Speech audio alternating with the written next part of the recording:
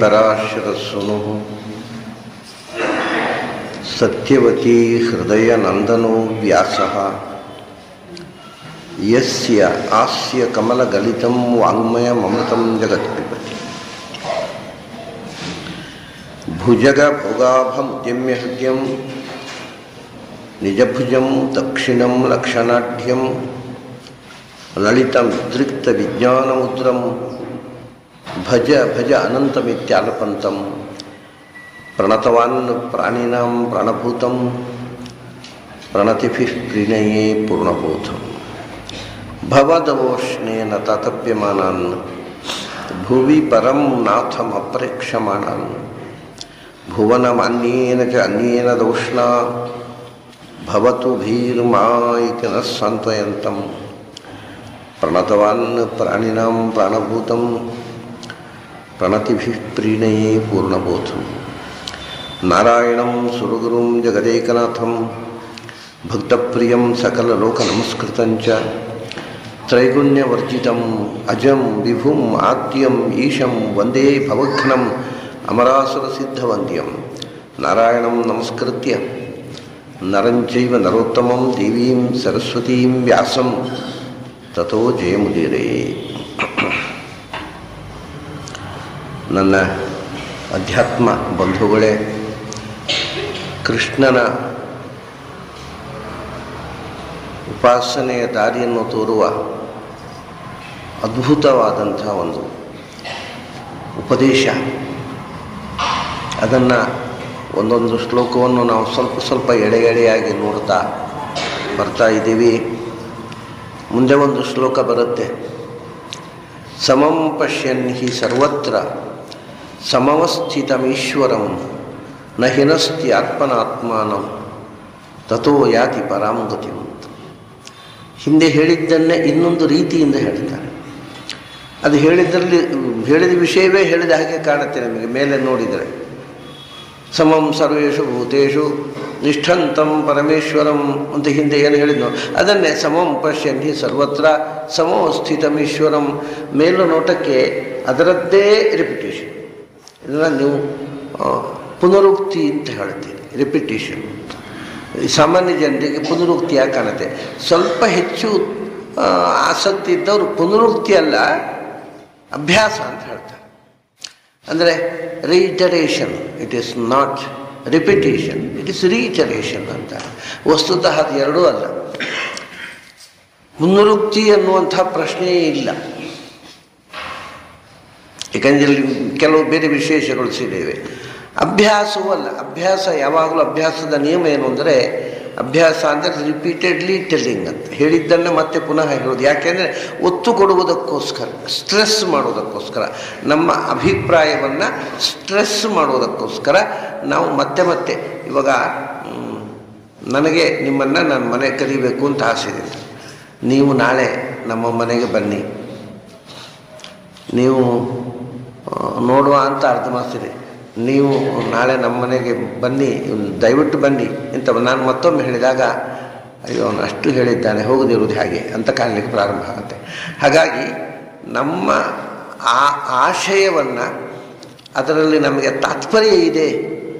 ನಾನು ಸುಮ್ಮನೆ ಮುಖಕ್ಕೋಸ್ಕರ ಎದುರಿನಲ್ಲಿ ಒಂದೇನೋ ಒಂದು ವ್ಯಾವಹಾರಿಕವಾಗಿ ಹೇಳ್ತಾ ಇಲ್ಲ. ಐ ಮೀನ್ ಇಟ್ ನಾನು ಏನು ಹೇಳ್ತೇನೋ ಅದನ್ನು ಮನಃಪೂರ್ವಕವಾಗಿ ಹೇಳ್ತೇನೆ ಅಂತ ಹೇಳೋದಕ್ಕೋಸ್ಕರ ರಿಪೀಟ್ ಮಾಡ್ತಾನೆ ಅದು ರಿಪಿಟೇಷನ್ ಅಲ್ಲ. ಅದಕ್ಕೆ ಇಂಗ್ಲೀಷ್ನಲ್ಲಿ ರೀಟರೇಷನ್ ಅಂತಾರೆ ಸಂಸ್ಥೆಯಲ್ಲಿ ಅಭ್ಯಾಸ ಅಂತ. ಅಭ್ಯಾಸ ಅಂದರೆ ಮತ್ತೆ ಮತ್ತೆ ಹೇಳೋದು ಆದರೆ ಇದು ಎರಡೂ ಅಲ್ಲ ಇದು. ಯಾಕಂದರೆ ಆ ರೀಟರೇಷನ್ನು ಮತ್ತು ರಿಪೀಟೇಷನ್ನಲ್ಲಿ ಏಕರೂಪ ಉಕ್ತಿ ಅಂತ ಒಂದಿದೆ. ಹೇಳಿದ್ದನ್ನು ಹಾಗೇ ರಿಪೀಟ್ ಮಾಡಬೇಕು. ಬೇರೊಂದು ವಾಕ್ಯದಲ್ಲಿ ಅಲ್ಲ. ಇಲ್ಲಿ ಸ್ವಲ್ಪ ಅದರ ವಾಕ್ಯ ರಚನೆಯನ್ನು ಬೇರೆ ಮಾಡ್ತಾನೆ. ಮೇಲ್ನೋಟಕ್ಕೆ ವಿಷಯ ಒಂದೇ ಇದ್ದರೂ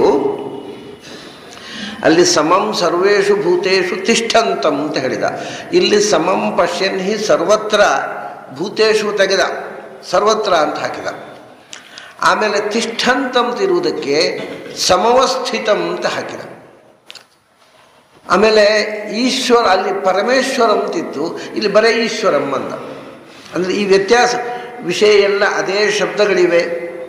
ಒಟ್ಟು ವಿಷಯ ಅದೇ. ಆದರೆ ಹೇಳುವ ರೀತಿಯಲ್ಲಿ ವ್ಯತ್ಯಾಸ ಮಾಡಿದ ಕೃಷ್ಣ. ಈ ಹೇಳುವ ರೀತಿಯ ವ್ಯತ್ಯಾಸದಿಂದ ಸ್ವಲ್ಪ ಸ್ವಲ್ಪ ವ್ಯತ್ಯಾಸ ಆಗುತ್ತೆ. ಒಟ್ಟು ಅರ್ಥ. ಈಗ ನಿಮಗೆ ಜನರಲ್ಲಾಗಿ ಸಂಸ್ಕೃತ ಪಾಠ ಹೇಳಿಕೊಡುವವರು ತಿಷ್ಠಂತಂ ಇರತಕ್ಕ. ಸರ್ವೇಶು ಭೂತೇಶು ಎಲ್ಲ ಜೀವಗಳಲ್ಲಿಯೂ ತಿಷ್ಠಂತಂ ಇರತಕ್ಕ. ಪರಮೇಶ್ವರಂ ಪರಮಾತ್ಮನನ್ನು ಓದೋಯ್ತು. ಅಲ್ಲಿ ಗೀತೆ ಅರ್ಥ ಆಗೋಯ್ತು. ಇದಕ್ಕೆ ಹೇಳಿದರು, ಯಹ ಯಾರು? ಸರ್ವತ್ರ ಎಲ್ಲ ಭೂತಗಳಲ್ಲಿ ಸಮವಸ್ಥಿತ ಇರತಕ್ಕ ಈಶ್ವರಂ ಪರಮೇಶ್ವರನು ಹೋಯಿತು. ಎರಡಕ್ಕೂ ಚಿಂತನೆ ಒಂದೇ ಏನು ಬೇರೆ ಕೆಲಸ ಇಲ್ಲ ಕೃಷ್ಣನಿಗೆ ಹೇಳಿದ್ದನ್ನೇ ಹೇಳ್ತಾರೆ ಆದರೆ ಸಂಸ್ಕೃತದಲ್ಲಿ ನೀವು ಒಂದು ಅಕ್ಷರ ಹಾಕಿದರೆ, ಅಥವಾ ಒಂದು ಅಕ್ಷರ ತೆಗೆದರೆ, ಒಂದು ಸ್ವರ ಹಾಕಿದರೆ, ಒಂದು ಸ್ವರ ತೆಗೆದುಬಿಟ್ರೆ ಅರ್ಥ ವ್ಯತ್ಯಾಸ ಆಗತ್ತೆ. ಅದು ನಿಜವಾದ ಸಂಸ್ಕೃತ ಭಾಷೆಯ ಕರ್ಮ. ನಾವು ಈಗ ಆ ಥರದ ಸಂಸ್ಕೃತವನ್ನು ಮರೆತು ಬಿಟ್ಟಿದ್ದೇವೆ. ನಾವು ಸ್ಥೂಲವಾಗಿ ಅರ್ಥ ಹೇಳ್ತೇವೆ. ಆದರೆ ಆ ಭಾಷೆಯ ಸೂಕ್ಷ್ಮವಾದ ನಡೆಯನ್ನು ನಾವು ಮಕ್ಕಳಿಗೆ ಹೇಳಿಕೊಡುವುದೂ ಇಲ್ಲ, ನಾವು ಅಭ್ಯಾಸ ಮಾಡುವುದಿಲ್ಲ ಈಗ ಅಲ್ಲಿ ತಿಷ್ಠಂತ ಅಂತ ಹೇಳಿದೆ. ಎಲ್ಲ ಭೂತಿ ಪ್ರಾಣಿಗಳಲ್ಲಿಯೂ ಭಗವಂತ ನೆಲೆಸಿದ್ದಾನೆ ಅಂತ ಅಷ್ಟು ಅರ್ಥ ಆಯಿತು. ತಿಷ್ಠಂತಂ ಅಂದರೆ ಅಲ್ಲಿ ಇರುವುದು. ಷ್ಠಾ ಧಾತು ಅದು. ತಿಷ್ಠತಿ ಇತಿ ತಿಷ್ಠನ್. ಅಲ್ಲಿ ಪ್ರತಿಯೊಂದು ಜೀವಜಾತದ ಒಳಗೂ ಭಗವಂತ ಇದ್ದಾನೆ. ಇಷ್ಟು ಅರ್ಥ ಆಯಿತು. ಇಲ್ಲಿ ಅದನ್ನೇ ಸ್ಥಿತ ಅಂತ ಹೇಳ್ಬೋದಿತ್ತು. ಅಷ್ಟೇ ಅರ್ಥ ಆಗುತ್ತೆ. ತಿಷ್ಠಂತಂ ಮತ್ತು ಸ್ಥಿತಂ ಅನ್ನೋದಕ್ಕೆ ವ್ಯತ್ಯಾಸ ಏನು ಅಂದರೆ, ತಿಷ್ಠಂತಂ ಅನ್ನೋದು ವರ್ತಮಾನ ಕಾಲದಲ್ಲಿ ಈಗಲೂ ಇದ್ದಾನೆ ಅಂತ ಹೇಳುತ್ತೆ ಅದು. ಸ್ಥಿತಂ ಅಂದರೆ ಇದ್ದ ಅನ್ನೋ ಅರ್ಥವನ್ನು ಹೇಳುತ್ತೆ. ದೇವರಿಗಾಗುವಾಗ ಎಲ್ಲ ಕಾಲವೂ ಒಂದೇ ಆದ್ದರಿಂದ ಅಂದರೆ ಅವನು ಹಿಂದೆ ಇದ್ದ, ಈಗ ಇರ್ತಾನೆ, ಮುಂದೆ ಇರ್ತಾನೆ. ತ್ರಿಕಾಲಕ್ಕೆ ಒಂದೇ ಮಾಡಿಕೊಂಡ್ರೆ ತಿಷ್ಠಂತಂ ಮತ್ತು ಸ್ಥಿತಂ ಅನ್ನೋದು ಸುಮಾರಾಗಿ ಒಂದೇ ಅರ್ಥ ಆಗಬಹುದು ಯಾಕೆ ಎರಡು ಥರ ಹೇಳಿದ ಅಂದರೆ, ಹೌದು, ಈಗ ಇದ್ದಾನೆ ಅಂತ ಹೇಳಿದರು, ಹಿಂದೆ ಇದ್ದ ಅಂತ ಹೇಳಲಿಲ್ಲ ಕೃಷ್ಣ ಅಂತ ಸಂಶಯ ಬೇಡ. ಹಿಂದೆಯೂ ಇದ್ದ, ಈಗಲೂ ಇದ್ದಾನೆ ಅದಕ್ಕೋಸ್ಕರ ಎರಡು. ಆದರೆ ಇಲ್ಲಿ ಒಂದು ಸಂ ಮತ್ತು ಅವ ಅಂತ ಎರಡು ಉಪಸರ್ಗಗಳು ಅಂತಾರೆ ಅದಕ್ಕೆ. ಉಪಸರ್ಗಗಳು ಅಂದರೆ ನಾವು ಬಳಸತಕ್ಕಂಥ ಶಬ್ದಕ್ಕೆ, ಮುಖ್ಯವಾಗಿ ಧಾತುವಿಗೆ ಮತ್ತು ಧಾತುಜನ್ಯವಾದ ಶಬ್ದಕ್ಕೂ ಆಗುತ್ತೆ. ಶಬ್ದಕ್ಕೆ ಒಂದು ಪ್ರಿಫಿಕ್ಸ್, ಅದು ಉಪಸರ್ಗ ಅಂತ. ಅದಕ್ಕೆ ಒಂದು ಅಕ್ಷರವನ್ನು, ಒಂದು ಶಬ್ದವನ್ನು ಸೇರಿಸಿದರೆ ಇಡೀ ಧಾತುವಿನ ಅರ್ಥವೇ ಬೇರೆ ಆಗುತ್ತೆ. ಈಗ ಸ್ಥಿತಂ ಅನ್ನೋದಕ್ಕೂ ಅವಸ್ಥಿತಂ ಅನ್ನೋದಕ್ಕೂ ಸಂಸ್ಥಿತಂ ಅನ್ನೋದಕ್ಕೂ ಸಮೋಸ್ಥಿತಂ ಅನ್ನೋದಕ್ಕೂ ಇದಕ್ಕೆ ಬೇರೆ ಬೇರೆ ಅರ್ಥ ಇದೆ.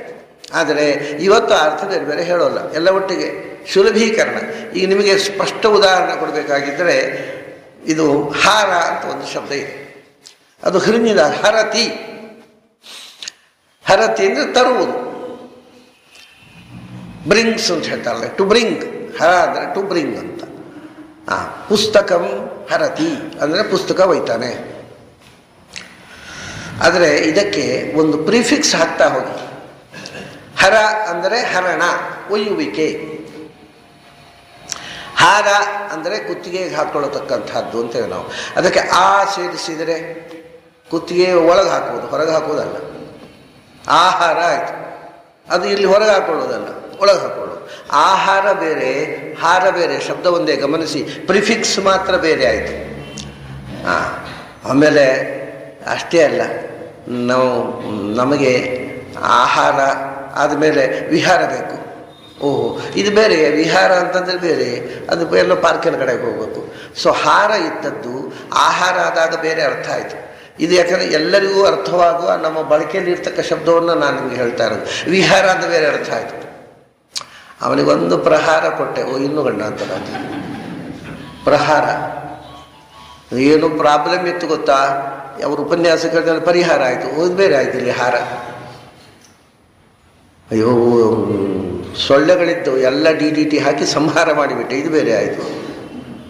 ಎಷ್ಟು ಅರ್ಥ ಬಂತು ಹಾರ ಒಂದು ಇದ್ದದ್ದು, ಅದಕ್ಕೆ ಒಂದು ಪ್ರಿಫಿಕ್ಸ್ ಹಾಕಿದಾಗ ಒಂದೊಂದು ಪ್ರಿಫಿಕ್ಸಿಗೆ ಒಂದೊಂದು ರೀತಿಯ ಬೇರೆ ಬೇರೆ ಅರ್ಥಗಳನ್ನು ಹೇಳ್ತು ಪ್ರಹಾರ ಆಯಿತು, ಆಹಾರ ಆಯಿತು, ವಿಹಾರ ಆಯಿತು, ಸಂಹಾರ ಆಯಿತು, ಪರಿಹಾರ ಆಯಿತು.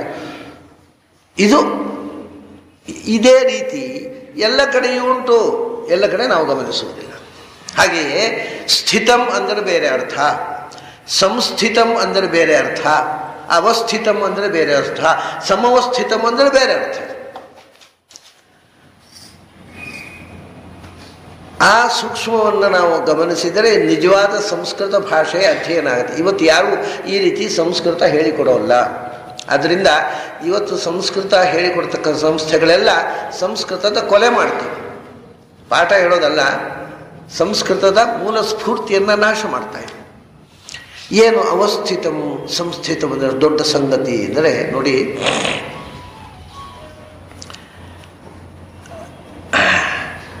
ಸಂಸ್ಥಿತಂ ಅಂದರೆ ಬಹಳ ಭಯಂಕರವಾದ ಅರ್ಥ ಇದೆ ಒಂದು. ಸಂಸ್ಥಾ ಅಂದರೆ ಸಂಸ್ಥೆ ಅಂತ ನಾವು ಹೇಳ್ತೇವೆ ಅಲ್ವಾ? ಸಂಸ್ಥೆ ಅಂದರೆ ಇನ್ಸ್ಟಿಟ್ಯೂಷನ್ನು ಅಂತ ನಮಗೆ ಸಂಸ್ಥೆ ಅಂದರೆ ಗೊತ್ತುಂಟಪ್ಪ? ಇನ್ಸ್ಟಿಟ್ಯೂಷನ್ನು ಅಂತೇವೆ.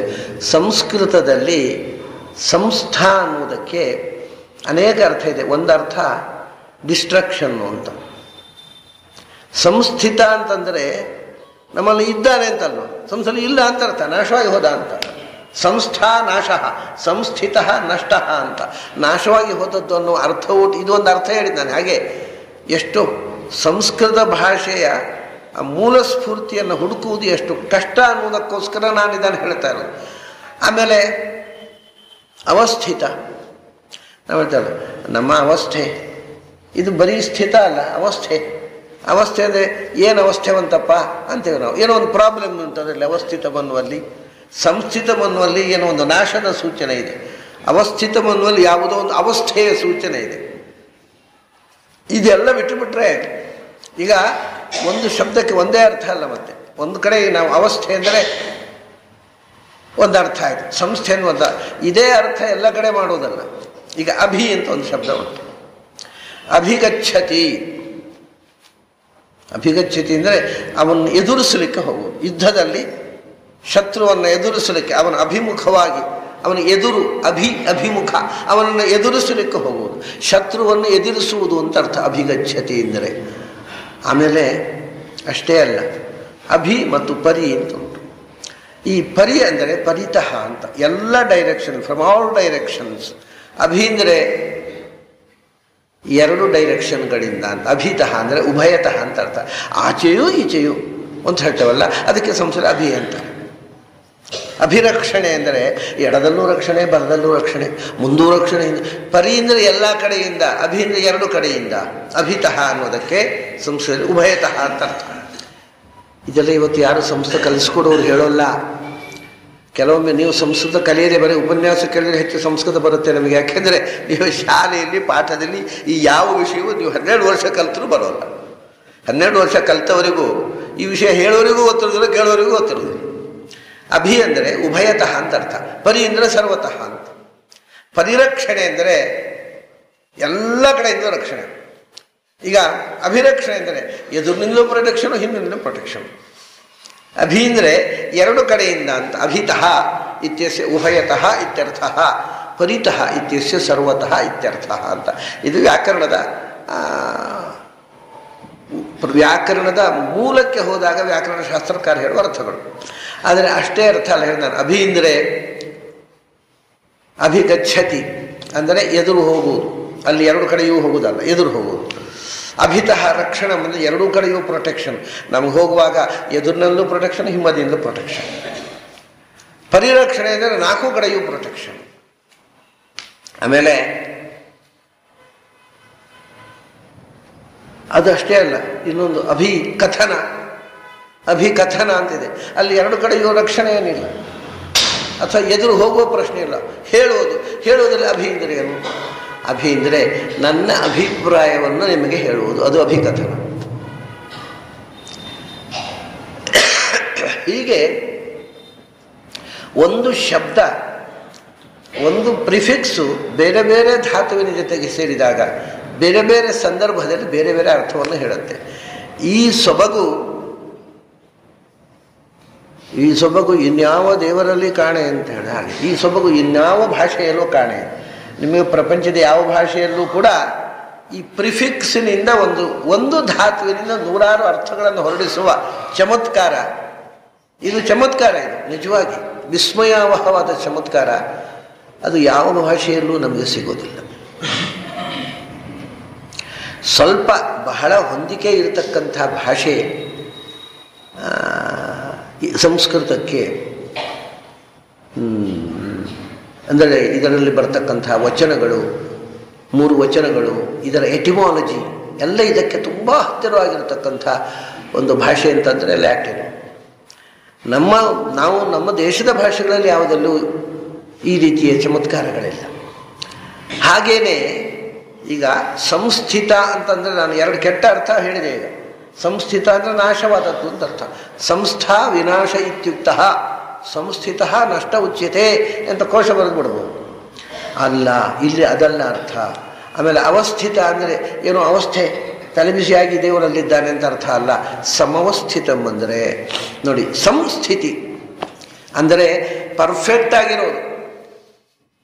ಇರೋದರಲ್ಲಿ ಪರ್ಫೆಕ್ಷನ್ ಯಾಕೆಂದರೆ ಭಗವಂತ, ನಾವು ಈ ದೇಹದೊಳಗಿದ್ದೇವೆ ನಾವು ಬರೇ ಸ್ಥಿತರು, ಅವನು ಸಂಸ್ಥಿತ ಅಂತ. ಇರುವಿಕೆಯಲ್ಲಿ, ಒಳಗೆ ದೇಹದೊಳಗೆ ನಾವು ಇದ್ದೇವೆ. ತತ್ವಾಭಿಮಾನ ದೇವತೆಗಳು ಇದ್ದಾರೆ. ಭಗವಂತನೂ ಇದ್ದಾನೆ ಈ ಎಲ್ಲರೂ ಒಳಗಿದ್ದಾರಲ್ಲ, ಈ ಸ್ಥಿತಿಯಲ್ಲಿರೋ ಡಿಫರೆನ್ಸಸ್ ಏನು? ಅದನ್ನು ಸಮವಸ್ಥಿತವನ್ನು ಶಬ್ದದಲ್ಲಿ ಕೃಷ್ಣ ಹೇಳ್ತಾನೆ. ನಾವು ಸಂಸ್ಥಿತರಲ್ಲ. ನಾವು ಸಂಸ್ಥಿತರಲ್ಲ. ಯಾಕೆಂದರೆ ಬರೇ ಇರೋದು ನಮಗೆ ಒಳಗಿದ್ದು ಕೂಡ ನಮಗೆ ಒಳಗೆ ಎಲ್ಲಿದ್ದೇವೆ, ಯಾಕಿದ್ದೇವೆ, ಹಾಗಿದ್ದೇವೆ ಏನೂ ಗೊತ್ತಿಲ್ಲ. ಮತ್ತು ನಾವು ಒಳಗಿರೋದರಿಂದ ತಾಪತ್ರಯಗಳ, ದುಃಖಗಳನ್ನು ಅನುಭವಿಸ್ತಾ ಇದ್ದೇವೆ ನಾವು. ಮೂರು ಅವಸ್ಥೆಗಳಲ್ಲಿ, ಎರಡು ಅವಸ್ಥೆ ದುಃಖದ್ದು. ನಿನ್ನೆ ಒಂದು ಪ್ರಶ್ನೆ ಹಾಕಿದ್ದೆ ನಾನು. ದೇಹದ ಒಳಗೆ ಜೀವ ಇದ್ದಾನೆ, ಅವನಿಗೆ ದುಃಖ ಇದೆ ಅದರಿಂದ ಸುಖ ಇದೆ. ಭಗವಂತನಿಗೆ ದುಃಖ ಇಲ್ಲ ಅಂದರೆ ಸುಖ ಯಾಕೆ? ಇರುತ್ತೆ. ದುಃಖ ಇದ್ದರೆ ಸುಖವೂ ಇರಲಿಕ್ಕೆ ಸಾಧ್ಯ ಇಲ್ಲ ಅಂತ ಒಂದು ಪ್ರಶ್ನೆ. ಅದಕ್ಕೆ ಅವನು ಹೇಳಿದ್ದು ಅವಿನಶ್ಯತ್ ವಿನಶ್ಯತ್ಸು ಅವಿನಶ್ಯಂತ ಅಂತ ಒಂದು ಮಾತು ಹೇಳಿದ್ದ. ವಿನಾಶ ಅಂತಂದ್ರೆ ದುಃಖವೂ ಒಂದು ವಿನಾಶ ಅಂತ ಹೇಳ್ತೀನಿ ನಾನು. ಹಾಗಾದರೆ ದುಃಖ ಇಲ್ಲ, ಇದ್ದ ಜೀವದ ಒಳಗೆ ಇದ್ದು ದುಃಖ ಇಲ್ಲದೆ ಇದ್ದಾನೆ ಅಂತ ಅನ್ನೋ ಶಬ್ದವನ್ನು ಬಳಸಿದ ಕೃಷ್ಣ. ಅರ್ಥಾತ್ ಜೀವನಿಗೆ ದುಃಖ ಇದೆ, ಆದರೆ ಭಗವಂತನಿಗಿಲ್ಲ ಆದರೆ ಸುಖ ಇದೆ. ಅದು ಹೇಗೆ? ನಮ್ಮ ಲಾಜಿಕ್ ಹೇಳಿದ್ದೇವಲ್ವ? ದುಃಖ ಇದ್ದರೆ ಸುಖ ಇರಲೇಬೇಕು. ಸುಖ ಇದ್ದರೆ ದುಃಖ ಇರಲೇಬೇಕು. ಒಂದು ಇಲ್ಲ, ಒಂದು ಇದೆ ಅಂತ ಹೇಳಲಿಕ್ಕೆ ಆಗೋದಿಲ್ಲಲ್ಲ ಅಂದರೆ. ಅಲ್ಲ ಅಂದರೆ ನೀವು ಸಿಕ್ಕಿ ಬಿದ್ದಿರಿ ಅದರಲ್ಲಿ. ಯಾಕಂದರೆ ಭಗವಂತನಿಗೆ ಜ್ಞಾನ ಇದೆ ಅಂತ ಒಪ್ತೀರಲ್ವ ದುಃಖ ಇಲ್ಲ. ಆದರೆ ಜ್ಞಾನ ಇದೆ ಅಂತ ಒಪ್ತೇನೆ. ದುಃಖ ಇಲ್ಲ, ಅದರಿಂದ ಸುಖ ಇಲ್ಲ.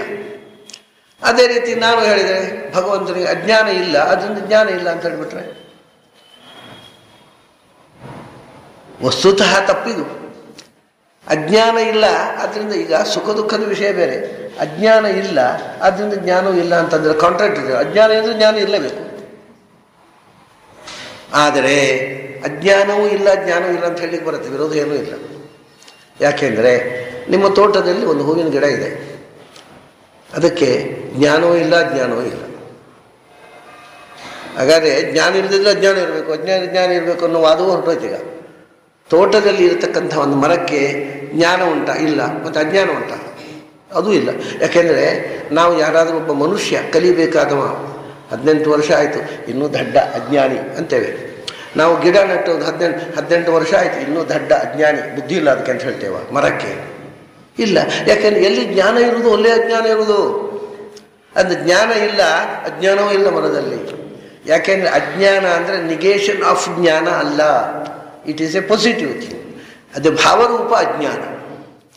ಆಗ ಇಲ್ಲ ಅದನ್ನ ಅಜ್ಞಾನ ಅಂದರೆ ಜ್ಞಾನದ ಅಭಾವ ಅಂತ ಇಷ್ಟೇ ತಿಳ್ಕೊಂಡಿರ್ತಾರೆ ಜನ. ಯಾಕೆಂದರೆ ನಮಗೆ ಎಲ್ಲ ತಿಳುವಳಿಕೆಯೂ ಹೀಗೆ. ನಮ್ಮ ತಿಳುವಳಿಕೆಯೇ ಅಜ್ಞಾನ. ನಾವು ತಿಳ್ಕೊಂಡದ್ದು ತಪ್ಪುಗಳೇ ಹೆಚ್ಚು. ಸರಿಯಾದ ತಿಳುವಳಿಕೆ ಇಲ್ಲ. ಅದರಿಂದ ಜ್ಞಾನ ಇಲ್ಲದಿದ್ದರೂ ಅಜ್ಞಾನವೂ ಇಲ್ಲ, ಎರಡೂ ಇಲ್ಲದೆ ಇರುವುದು ಉಂಟು. ಎರಡೂ ಇರುವುದು ಒಟ್ಟಿಗೆ ಉಂಟು. ನಮ್ಮಲ್ಲಿ ಎರಡೂ ಇದೆ. ಜ್ಞಾನವೂ ಇದೆ, ಅಜ್ಞಾನವೂ ಇದೆ. ಮರದಲ್ಲಿ ಜ್ಞಾನವೂ ಇಲ್ಲ, ಅಜ್ಞಾನವೂ ಇಲ್ಲ. ಭಗವಂತನಲ್ಲಿ ಅಜ್ಞಾನ ಇಲ್ಲ, ಜ್ಞಾನ ಇದೆ. ಎರಡೂ ಇಲ್ಲ. ಎರಡೂ ಇದೆ. ಎರಡರಲ್ಲಿ ಒಂದಿದೆ. ಅದು ನೀವು ಭಗವಂತನಲ್ಲಿ ಜ್ಞಾನ ಇದೆ, ಮತ್ತು ಹಾಗಾದರೆ ಅಜ್ಞಾನ ಮತ್ತು ಜ್ಞಾನ ಜೀವನದಲ್ಲಿ ಒಟ್ಟಿಗಿರೋದು ಹಾಗಿದ್ದು ಕೂಡ ಭಗವಂತನಲ್ಲಿ ಅಜ್ಞಾನ ಇಲ್ಲ, ಜ್ಞಾನ ಇದೆ ಅಂತ ಹೇಳಿದ್ರಿ. ಮತ್ತು ದುಃಖ ಇಲ್ಲ, ಸುಖ ಇದೆ ಅಂತ ಯಾಕೆ ಹೇಳಬಾರ್ದು? ಅಲ್ಲ, ಅಂಥದ್ದೊಂದು ಎಲ್ಲೂ ಅನು, ಅನುಭವಕ್ಕೆ ಬರಲಿಲ್ಲ. ಅನುಭವಕ್ಕೆ ಬರಲಿಲ್ಲ ನೀವು ಒಂದು ಕೆಲಸ ಮಾಡಿ. ರಾತ್ರಿ ನಿದ್ರೆ ಮಾಡಿ ಹೋಗಿ, ಚಂದ ಮಾಡಿ. ವೇದಾಂತದ ಪುಸ್ತಕ ಮುಚ್ಚಿಟ್ಟು, ವೇದಾಂತದ ಯೋಚನೆಯನ್ನೇ ಬಿಟ್ಟು ಫಸ್ಟ್ ಕ್ಲಾಸ್ ನಿದ್ರೆ ಮಾಡಿ. ಬೆಳಗಾತ ಎದ್ದು ಏನಾಯಿತು? ನಿದ್ರೆ ಬಂತು. ನಿದ್ರೆಯಲ್ಲಿ ಏನಾಯಿತು? ಆನಂದವಾಗಿ ನಿದ್ರೆ ಬಂತು. ಅರೆ, ದುಃಖ ಆಯ್ತಾ? ಇಲ್ಲ. ಮತ್ತೆ ದುಃಖ ಇಲ್ಲದ ಆನಂದ ಇಲ್ಲ ಅಂತ ಹೇಳಿದ್ರೆ ನಿಮಗೆ ನಿದ್ರೆಯಲ್ಲಿ ಹೇಗೆ ಬಂತು? ಒಮ್ಮೆ ನಿದ್ರೆಯನ್ನು ನೀವು ನಿದ್ರೆಯಲ್ಲಿ ಎಚ್ಚರಾಗಿ ನಿದ್ರೆಯಲ್ಲಿ ಎಚ್ಚರಾಗಿ ನಿದ್ರೆಯಲ್ಲಿ ಯಾವತ್ತೂ ಯಾರಿಗೂ ದುಃಖ ಆದದ್ದಿಲ್ಲ. ಹಾಗಾದರೆ ದುಃಖ ಇಲ್ಲದ ಆನಂದ ಇಲ್ಲ ಅಂತ ಹೇಳೋರಿಗೆ ತಮ್ಮ ನಿದ್ರೆಯೇ ಎಚ್ಚರವೇ ಇಲ್ಲ. ಅವ್ರು ಏನು ಶಾಸ್ತ್ರ ಹೇಳ್ತಾರೆ? ನಿದ್ರೆಯಲ್ಲಿ ಆನಂದ ಇದೆ ಎಲ್ಲರಿಗೂ. ಪ್ರಾಣಿಗಳಿಂದ ಹಿಡಿದು, ಕ್ರಿಮಿಕೀಟಗಳಿಂದ ಹಿಡಿದು, ಇದು ಸಾರ್ವಕಾಲಿಕವಾದ, ಸಾರ್ವತ್ರಿಕವಾದ ಎಕ್ಸ್ಪೀರಿಯನ್ಸ್ ಇದೇನು ದೊಡ್ಡ ಸಾಧನೆ ಅಲ್ಲ. ಅದು ನಿದ್ರೆಯಲ್ಲಿ ಯಾರಿಗೂ ದುಃಖ ಆಗೋದಿಲ್ಲ. ಅದು ಯಾಕೆ ಅಂತ ಅನ್ನೋದು ಕೂಡ ಹಿಂದಿನ ಯೋಚನೆ ಮಾಡಿದೆ ಯಾಕೆ ದುಃಖ ಆಗೋದಿಲ್ಲ? ದುಃಖ ಆಗುವುದು ಒಂದು ಅನುಭವದಿಂದ ಅಲ್ಲ. ನನ್ನದು ಅನ್ನುವ ಫೀಲಿಂಗ್ನಿಂದ ದುಃಖ ಆಗೋದು. ದುಃಖ ಅನ್ನೋದೊಂದು ಸ್ವತಂತ್ರ ಅನುಭವ ಅಲ್ಲ. ಇವಾಗ ನಿಮ್ಮ ಕೈಯಲ್ಲಿ ಗಾಯ ಆದರೆ ನೀವು ನೋವು ಅಂತ ಹೇಳ್ತೀರಿ. ಕೈ ನೋವು, ಗಾಯ ಆಯಿತು. ನನಗೆ ನೋವಾಗೋದಿಲ್ಲ ಯಾಕೆ? ಅದು ನನ್ನ ಕೈಯಲ್ಲ ಆದ್ದರಿಂದ ಅಷ್ಟೇ. ಕೈಗೆ ಗಾಯ ಆದ್ರೆ ನೋವಾಗೋದಲ್ಲ. ನನ್ನ ಕೈ ಅಂತ ನಾನು ತಿಳ್ಕೊಂಡಾಗ ನೋವಾಗೋದು. ನಿದ್ರೆಯಲ್ಲಿ ನನ್ನ ಕೈಯಲ್ಲೇ ಗಾಯ ಇರುತ್ತೆ, ಅದು ನಿದ್ರೆ ಬಂದರೆ ನೋವಾಗ ಯಾಕೆಂದರೆ ನನ್ನ ಕೈ ಅನ್ನೋದು ಗೊತ್ತಿಲ್ಲ. I am not aware of my own hand ನನ್ನ ಕೈ ಅನ್ನುವ ಆ ನನ್ನ ಅನ್ನೋ ಫೀಲಿಂಗ್ ಉಂಟಲ್ವ, ಅದರಿಂದ ದುಃಖ ಬರೋದು ನಿದ್ರೆಯಲ್ಲಿ ನನ್ನ ಇಲ್ವೇ ಇಲ್ಲ, ನಾನು ಮಾತ್ರ ಇರುವುದು. ಅದಕ್ಕೆ ವಿಭಕ್ತಿಯೇ ಇಲ್ಲ. ಐ ಇದೆ ಮೈ ಇಲ್ಲ. ಯಾವಾಗ ಮೈ ಮೈನಸ್ ಆಯಿತೋ, ಐ ಇಸ್ ಬ್ಲಿಸ್ಫುಲ್ ಬಹಳ ಬ್ಯೂಟಿಫುಲ್ ಹಾಗಾಗಿ ನಿದ್ರೆಯಲ್ಲಿ ಆನಂದ ಇದೆ, ದುಃಖ ಇಲ್ಲ. ನಿಮಗೇ ಗೊತ್ತಿದೆ, ಆನಂದ, ದುಃಖ ಇಲ್ಲದ ಆನಂದ ಇರುತ್ತೆ ಅಂತ ಭಗವಂತನಿಗೆ ಯಾಕಿರಬಾರ್ದು ಅದಕ್ಕೆ ನಿಮಗೆ ನಿದ್ರೆಯಲ್ಲಿ ಇದೆ ಆನಂದ ಅಂತ ಗೊತ್ತುಂಟಲ್ವ? ಅದಕ್ಕೆ ನಿಮಗೆ ಅರ್ಥ ಆಗಬೇಕು ಅಂದರೆ ಭಗವಂತ ಯೋಗ ನಿದ್ರೆ ಮಾಡ್ತಾನೆ ಅಂತ ಹೇಳುತ್ತಾವೆ ಅಂದರೆ ಆನಂದವಾಗಿರ್ತಾನೆ ಅಂತ ಅರ್ಥ. ಅದಕ್ಕೆ ನಿದ್ರೆ ಮಾಡೋಲ್ಲ ದೇವರು. ನಮಗೆ ನಿದ್ರೆಯಲ್ಲಿ ಆನಂದ ಅಲ್ವ? ಅದಕ್ಕೆ ದೇವರಿಗೆ ಒಂದು ನಿದ್ರೆ ಹಚ್ಚಿ ಹೇಳಿದರೆ ಅರ್ಥ ಆಗುತ್ತೇನೋ ಅಂತ. ಅಷ್ಟೇ.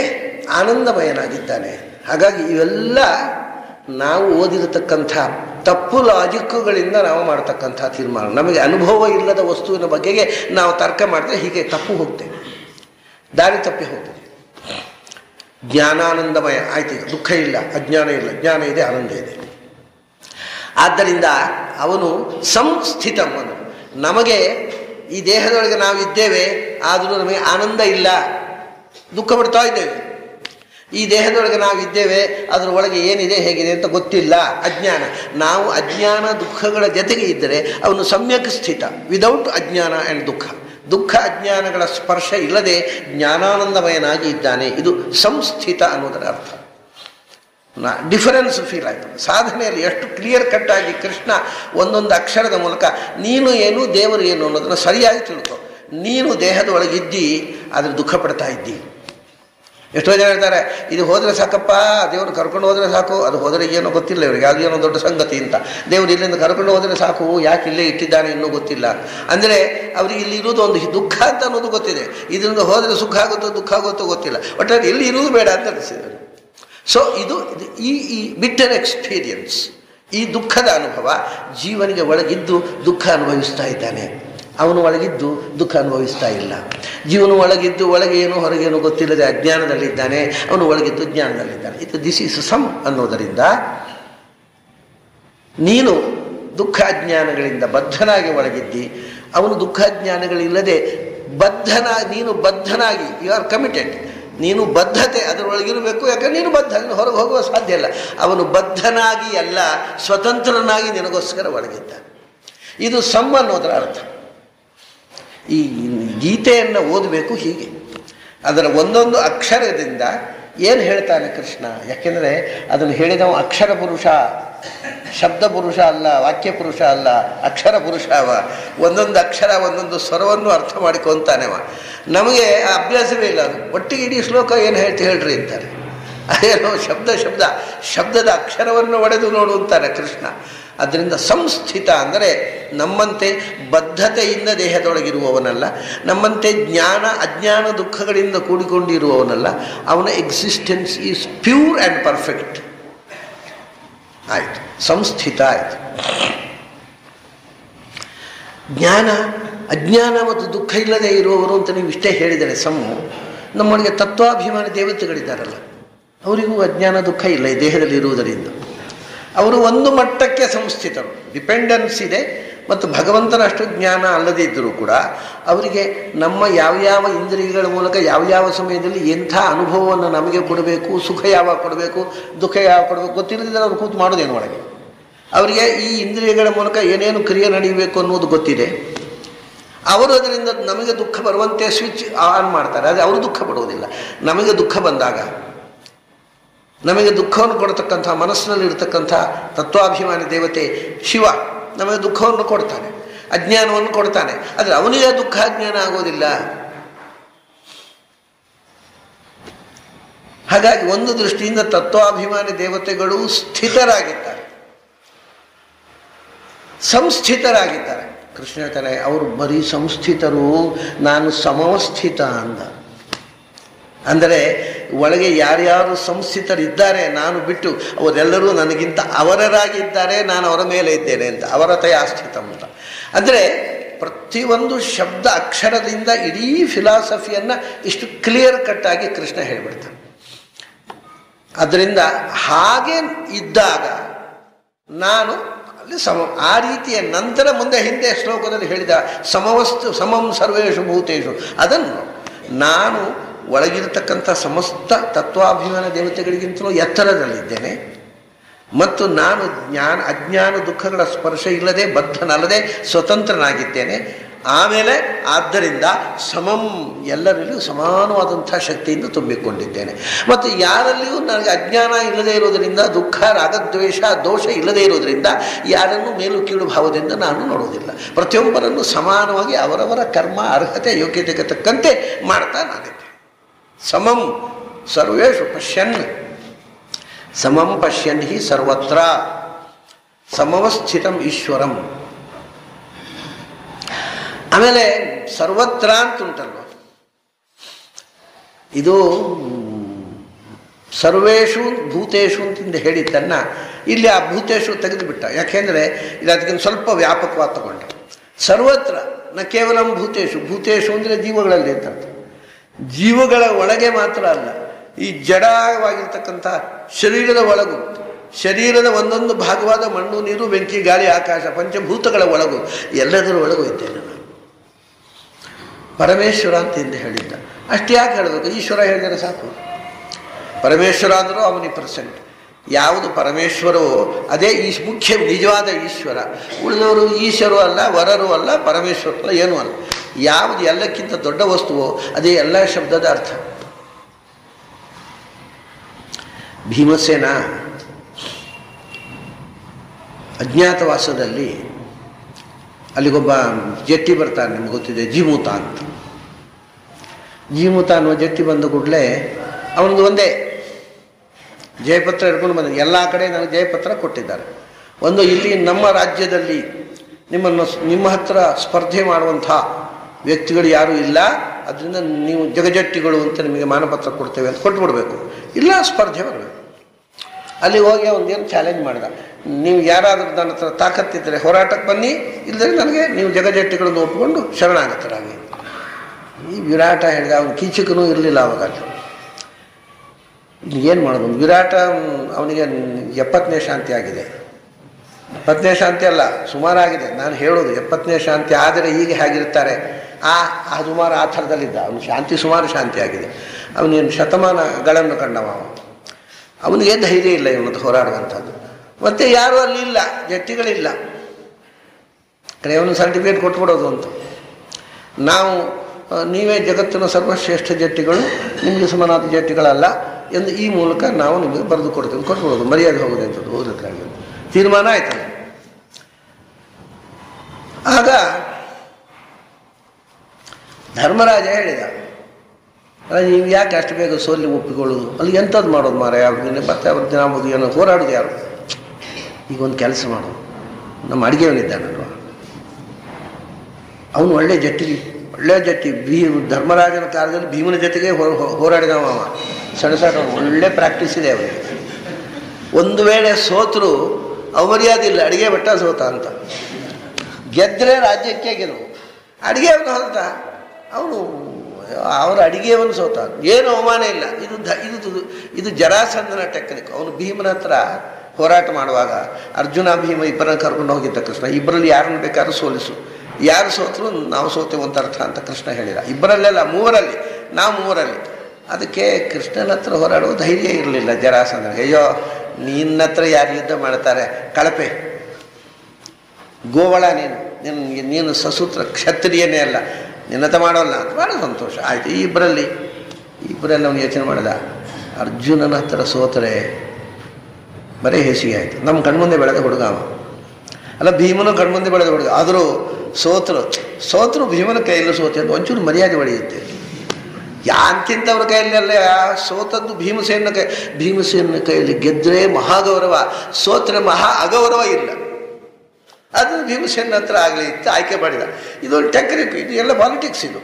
ಹಾಗೆ ಇಲ್ಲಿ ಕೂಡ ವಿಚಾರ ಯೋಚನೆ ಮಾಡ್ತಾ ಇದ್ದಾಗ ನಾನು ಯಾವುದು ಹೆಚ್ಚು ನಮಗೆ ಫೇವರಬಲ್ ಭೀಮಸೇನ ಗೆದ್ದರೆ ವಿರಾಟ ನಗರಕ್ಕೆ ಭಾರಿ ಗೌರವ. ಸೋತ್ರ ಅಗೌರವ ಇಲ್ಲ, ಅಡುಗೆ ಸೋತ ಅಂತ. ಧರ್ಮರಾಜ ಈ ಟೆಕ್ನಿಕ್ ಹೇಳಿಕೊಟ್ಟ ವಿರಾಟನಿಗೆ. ಹೌದಲ್ಲ? ಈಗ ಒಂದು ಸೋತ್ರ ನಮಗೇನು ಅವಮಾನ ಇಲ್ಲ. ಒಂದು ವೇಳೆ ಜೀವದ ಅವನು ಕೊಂದರೆ ಬೇರೆ ಅಡಿಗೆಯವರು ಬರ್ತಾರೆ. ಇವ್ರ ತಯಾರ ಅಷ್ಟೇ. ಬೇರೆ ಅಡಿಗೆಯವರು ಬರ್ತಾರೆ. ಯಾವ ನಷ್ಟವೂ ಇಲ್ಲ. ಆಯಿತು ಹೌದು ಭೀಮಸೇನನನ್ನು ಕರೆದು ಹೇಳ್ತಾನೆ. ಅದಕ್ಕೆ ಭೀಮಸೇನ ಹೇಳ್ತಾನೆ, ನಾನು ಆ ಜೀಮೋತನ ಹತ್ರ ಹೋರಾಟ ಮಾಡ್ತೇನೆ. ಯಾಕೆಂದರೆ ನನಗೆ ಮಹಾದೇವನ ಅನುಗ್ರಹ ಇದೆ. ನಿನ್ನ ಅನುಗ್ರಹ ಇದೆ. ಯುಧಿಷ್ಠಿರನ ಅನುಗ್ರಹ ಇದೆ, ನಾನು ಗೆಲ್ತೇನೆ ಅಂತ. ಯಾವ ಅರ್ಥದಲ್ಲಿ ಹೇಳಿದ ಭೀಮಸೇನ? ಅವನಿಗೆ ವಿರಾಟನ ಅನುಗ್ರಹ ಯಾಕೆ ಬೇಕು? ಯಾರ ಅನುಗ್ರಹ ಯಾಕೆ ಬೇಕು? ಅವನದು ಮಹಾದೇವನ ಅನುಗ್ರಹ ಇದೆ. ಮಹಾದೇವರು ಅಂದರೆ ಎಲ್ಲಕ್ಕಿಂತ ದೊಡ್ಡ ದೇವರು. ಅಂದರೆ ಅದೇ, ಅವನಿಗೆ ಎಲ್ಲ ಶಬ್ದಗಳನ್ನು ಕೇಳುವಾಗ ಈ ಇಡೀ ಜಗತ್ತಿನ ಮೂಲ ವ್ಯಕ್ತಿ ಯಾರು? ಅವನು. ಅವನಿಗೆ ಹೆಸರು ನಾವೇ ಇಡೋದಲ್ವಾ? ನಾವೇ ದೇವರಿಗೆ ನಾಮಕರಣ ಮಾಡೋ ಒಪ್ಪಂದಿರಲ್ವಾ? ನಾವು ಇಟ್ಟ ಹೆಸರು ನಮಗೆ ಅಭಿಮಾನ. ನನ್ನ ದೇವರಿಗೆ ನಾನಿಟ್ಟ ಹೆಸರೇ ಕರೆಕ್ಟ್ ಉಳಿದವ್ರು ಹೇಳೋದಲ್ಲ. ಯಾಕಂದ್ರೆ ನಾನಿಟ್ಟು ಇಷ್ಟೇ. ದೇವರಿಗೆ ನೀವು ಯಾವ ಹೆಸರನ್ನು ಕರೆದ್ರು ದೇವರು ಒಬ್ಬನೇ ಅಲ್ವಾ? ಅವನು ಹೇಳ್ತಾನೆ, ಎಲ್ಲರಿಗಿಂತ ದೊಡ್ಡ ದೇವರು ಮಹಾದೇವರು. ಹೇಳ್ತಾನೆ ನೀವು ಏನು ಬೇಕಾದ ತಿಳ್ಕೊಳ್ಳಿ ನನಗೆ ಮಹಾದೇವನ ಅನುಗ್ರಹ ಇದೆ. ನಿನ್ನ ಅನುಗ್ರಹ ಇದೆ. ನಿನ್ನೊಳಗೆ ನಿನ್ನೊಳಗಿರುವ ದೇವರು. ಯುಧಿಷ್ಠರೊಳಗಿರುವ ದೇವರು. ನನ್ನೊಳಗಿರುವ ದೇವರು ಒಬ್ಬನೇ ಅಲ್ವಾ? ಅವ್ರದ್ದೆಲ್ಲ ಅನುಗ್ರಹ ಇದೆ. ಎಲ್ಲ ದೇವತಾ ಶಕ್ತಿಗಳಿಗೂ ನನ್ನನ್ನು ಆಶೀರ್ವದಿಸ್ತಾ ಇದ್ದಾರೆ. ಹಾಗಾಗಿ ಗೆಲ್ಲುತ್ತೇನೆ ಅಂತ ಹಾಗೆ ಯಾವ ಶಬ್ದ ಕೇಳಿದಾಗಲೂ ಅದು ಭಗವಂತನ ಹೆಸರಾಗಿ ಕಾಣಬೇಕು. ಈಶ್ವರ ಸರ್ವದೇಹಾನ ಸರ್ವಧ್ಯ ಅದರಲ್ಲಿ ಈಶ್ವರ ಎಲ್ಲ ಜೀವಿಗಳ ಹೃದಯ ಮಧ್ಯದಲ್ಲಿ ಈಶ್ವರ ನೆಲೆಸಿದ್ದಾನೆ. ಎಲ್ಲರ ಹೃದಯ ಮಧ್ಯದಲ್ಲಿ ಯಂತ್ರಾರೂಢಾನಿ ಮಾಯಯ ಈಶ್ವರ ಸರ್ವಭೂತಾನ. ಎಲ್ಲ ಭೂತಗಳ ಹೃದಯದಲ್ಲಿ ಈಶ್ವರ ನೆಲೆಸಿದ್ದಾನೆ. ಅಲ್ಲಿ ಏನು ಈಶ್ವರ ಅಂದರೆ? ಜಗದೀಶ್ವರ ಅಂದರೆ ಜಗತ್ತಿನ ನಿಯಾಮಕವಾದ ಪರಶಕ್ತಿ ಅಂತ ಅರ್ಥ. ಅಷ್ಟೇ. ಅದು ಯಾವುದೇ ಒಂದು ವಿಶಿಷ್ಟವಾದ ವ್ಯಕ್ತಿಯನ್ನು ಹೇಳೋದಿಲ್ಲ. ಇದು ನೀವು ಈಶ್ವರ ಸರ್ವಭೂತಾನಾಂ ಹೃದ್ದೇಶೇ ಅರ್ಜುನ ತಿಷ್ಠತಿ. ಭ್ರಾಮೆಯನ್ನು ಸರ್ವಭೂತಾನಿ ಯಂತ್ರಾರೂಢಾನಿ ಮಾಯೆಯ ಅಂತ ಏನು ಗೀತೆಯ ಶ್ಲೋಕ ಇದೆ. ಆ ಶ್ಲೋಕದಲ್ಲಿ ಈಗ ಇದನ್ನು ಇದು ಶಂಕರಾಚಾರ್ಯರ ಭಾಷೆಯ ನೋಡಿ. ಅವರು ಕ್ಲೀನ್ ಬರೀತಾರೆ. ಈಶ್ವರ, ಈಶನಶೀಲ ನಾರಾಯಣ ಇತ್ಯರ್ಥ ಶಂಕರ. ಆಮೇಲೆ, ಏಷತೆ ಆತ್ಮ ಅಂತರ್ಯಾಮಿ ಅಮೃತಃ, ನಿನ್ನೊಳಗೆ ಅಂತರ್ಯಾಮಿಯಾಗಿದ್ದಾನೆ ಅಂತ ಹೇಳ್ತಾರೆ. ಯಾರು ಅಂತ ಹೇಳಲ್ಲ ಅದನ್ನು. ಏಷತೆ ಆತ್ಮ ಅಂತರ್ಯಾಮಿ ನಾರಾಯಣ ಇತ್ಯರ್ಥ. ಎಲ್ಲ ಕಡೆ ಶಂಕರಾಚಾರ್ಯ ಬರೆದಂಥ ಮಾತಿದೆ. ಇದು ನಾನು ಯಾರ ಮೇಲೂ ಒತ್ತಡಕ್ಕೋಸ್ಕರ ಹೇಳ್ತಾ ಇಲ್ಲ. ಫ್ಯಾಕ್ಟ್ಸ್ ಗೊತ್ತಿಲ್ಲ. ಬಹಳ ಜನಕ್ಕೆ ಈ ವಿಷಯವೇ ಗೊತ್ತಿಲ್ಲ. ಶಂಕರರು ಎಲ್ಲ ಕಡೆ ಇರಲಿ ಈಶ್ವರ ಅಂತ ಶಬ್ದ ಬಂತು. ಯಾಕೆಂದರೆ ಈಶ್ವರ ಅಂದರೆ ಸರ್ವಸಮರ್ಥ ಅಂತ ಅರ್ಥ. ಅಷ್ಟೇ. ಈಶ್ವರ ಅಂದರೆ ಆಮ್ನಿಪಟೆಂಟ್ ನಾರಾಯಣ ಅಂದರೆ ಒಳಗೂ ಹೊರಗೂ ಇರುವವ ಅಂತ. ಈ ಶಬ್ದ. ವಿಷ್ಣು ಅಂದರೆ ಅಮ್ನಿ ಪರ್ಸೆಂಟು ಅಂತ. ಒಂದು ಸರ್ತಿ ಒಂದು ಮುಸಲ್ಮಾನರ ಸಭೆಗೆ ಹೋಗಿದ್ದೆ ನಾನು, ನಮ್ಮೂರಲ್ಲಿ. ಅವ್ರ ಕರೆದ್ರು, ಏನೋ ಮಾತಾಡ್ರಿ ಅಂತ ಏನೋ ಮಾತಾಡಬೇಕಲ್ಲ. ನಾನು ಹೇಳಿದೆ, ನಾನು ನೀವು ತಿಳ್ಕೊಂಡಿದ್ದೀರಿ, ನನ್ನ ದೇವರು ವಿಷ್ಣು, ನಿಮ್ಮ ದೇವರು ಅಲ್ಲಾಹು ಅಂತ ತಿಳ್ಕೊಂಡಿದ್ದೀರಿ.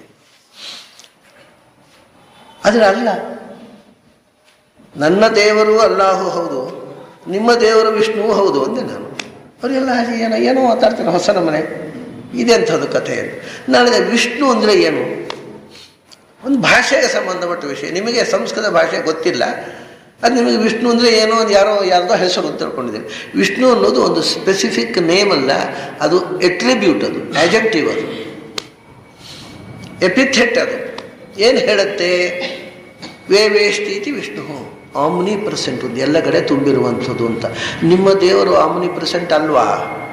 ಹಾಗಾದ್ರೆ ನಿಮ್ಮ ದೇವರು ವಿಷ್ಣುವೇ ಅಂದೇನೆ. If Allah is omnipresent he must be Vishnu. ಸರ್ವಗತ ಅಂತ ಅರ್ಥ, ದೇವರು. ವಿಷ್ಣು ಅಂತ. ಅದು ಶೈವರ ದೇವರು ಸರ್ವಗತ ಅಲ್ವಾ? ಮುಸಲ್ಮಾನರ ದೇವರು ಸರ್ವಗತ ಅಲ್ವಾ? ಅದು ಎಲ್ಲರ ದೇವರು ವಿಷ್ಣು ಅಲ್ವಾ? ಮತ್ತು ಎಂಥದ್ದು ಗಲಾಟೆ ನಿಮ್ಮದು ಅವಳಿಗೆ ಹೌದಲ್ಲ ಅಂತ ಕಟ್ಟಿತು ಮಾತಾಡಲಿಲ್ಲ ತೆಪ್ಪ ಏನು, ಇದೆಲ್ಲ ನಮ್ಮ ಅಜ್ಞಾನ ಇವೆಲ್ಲ ತೊಂದರೆ ಕೊಡುವಂಥ ನಾವು ಇಟ್ಟ ಹೆಸರು ನಮಗೆ ಮುಖ್ಯ ಆಗತ್ತೆ.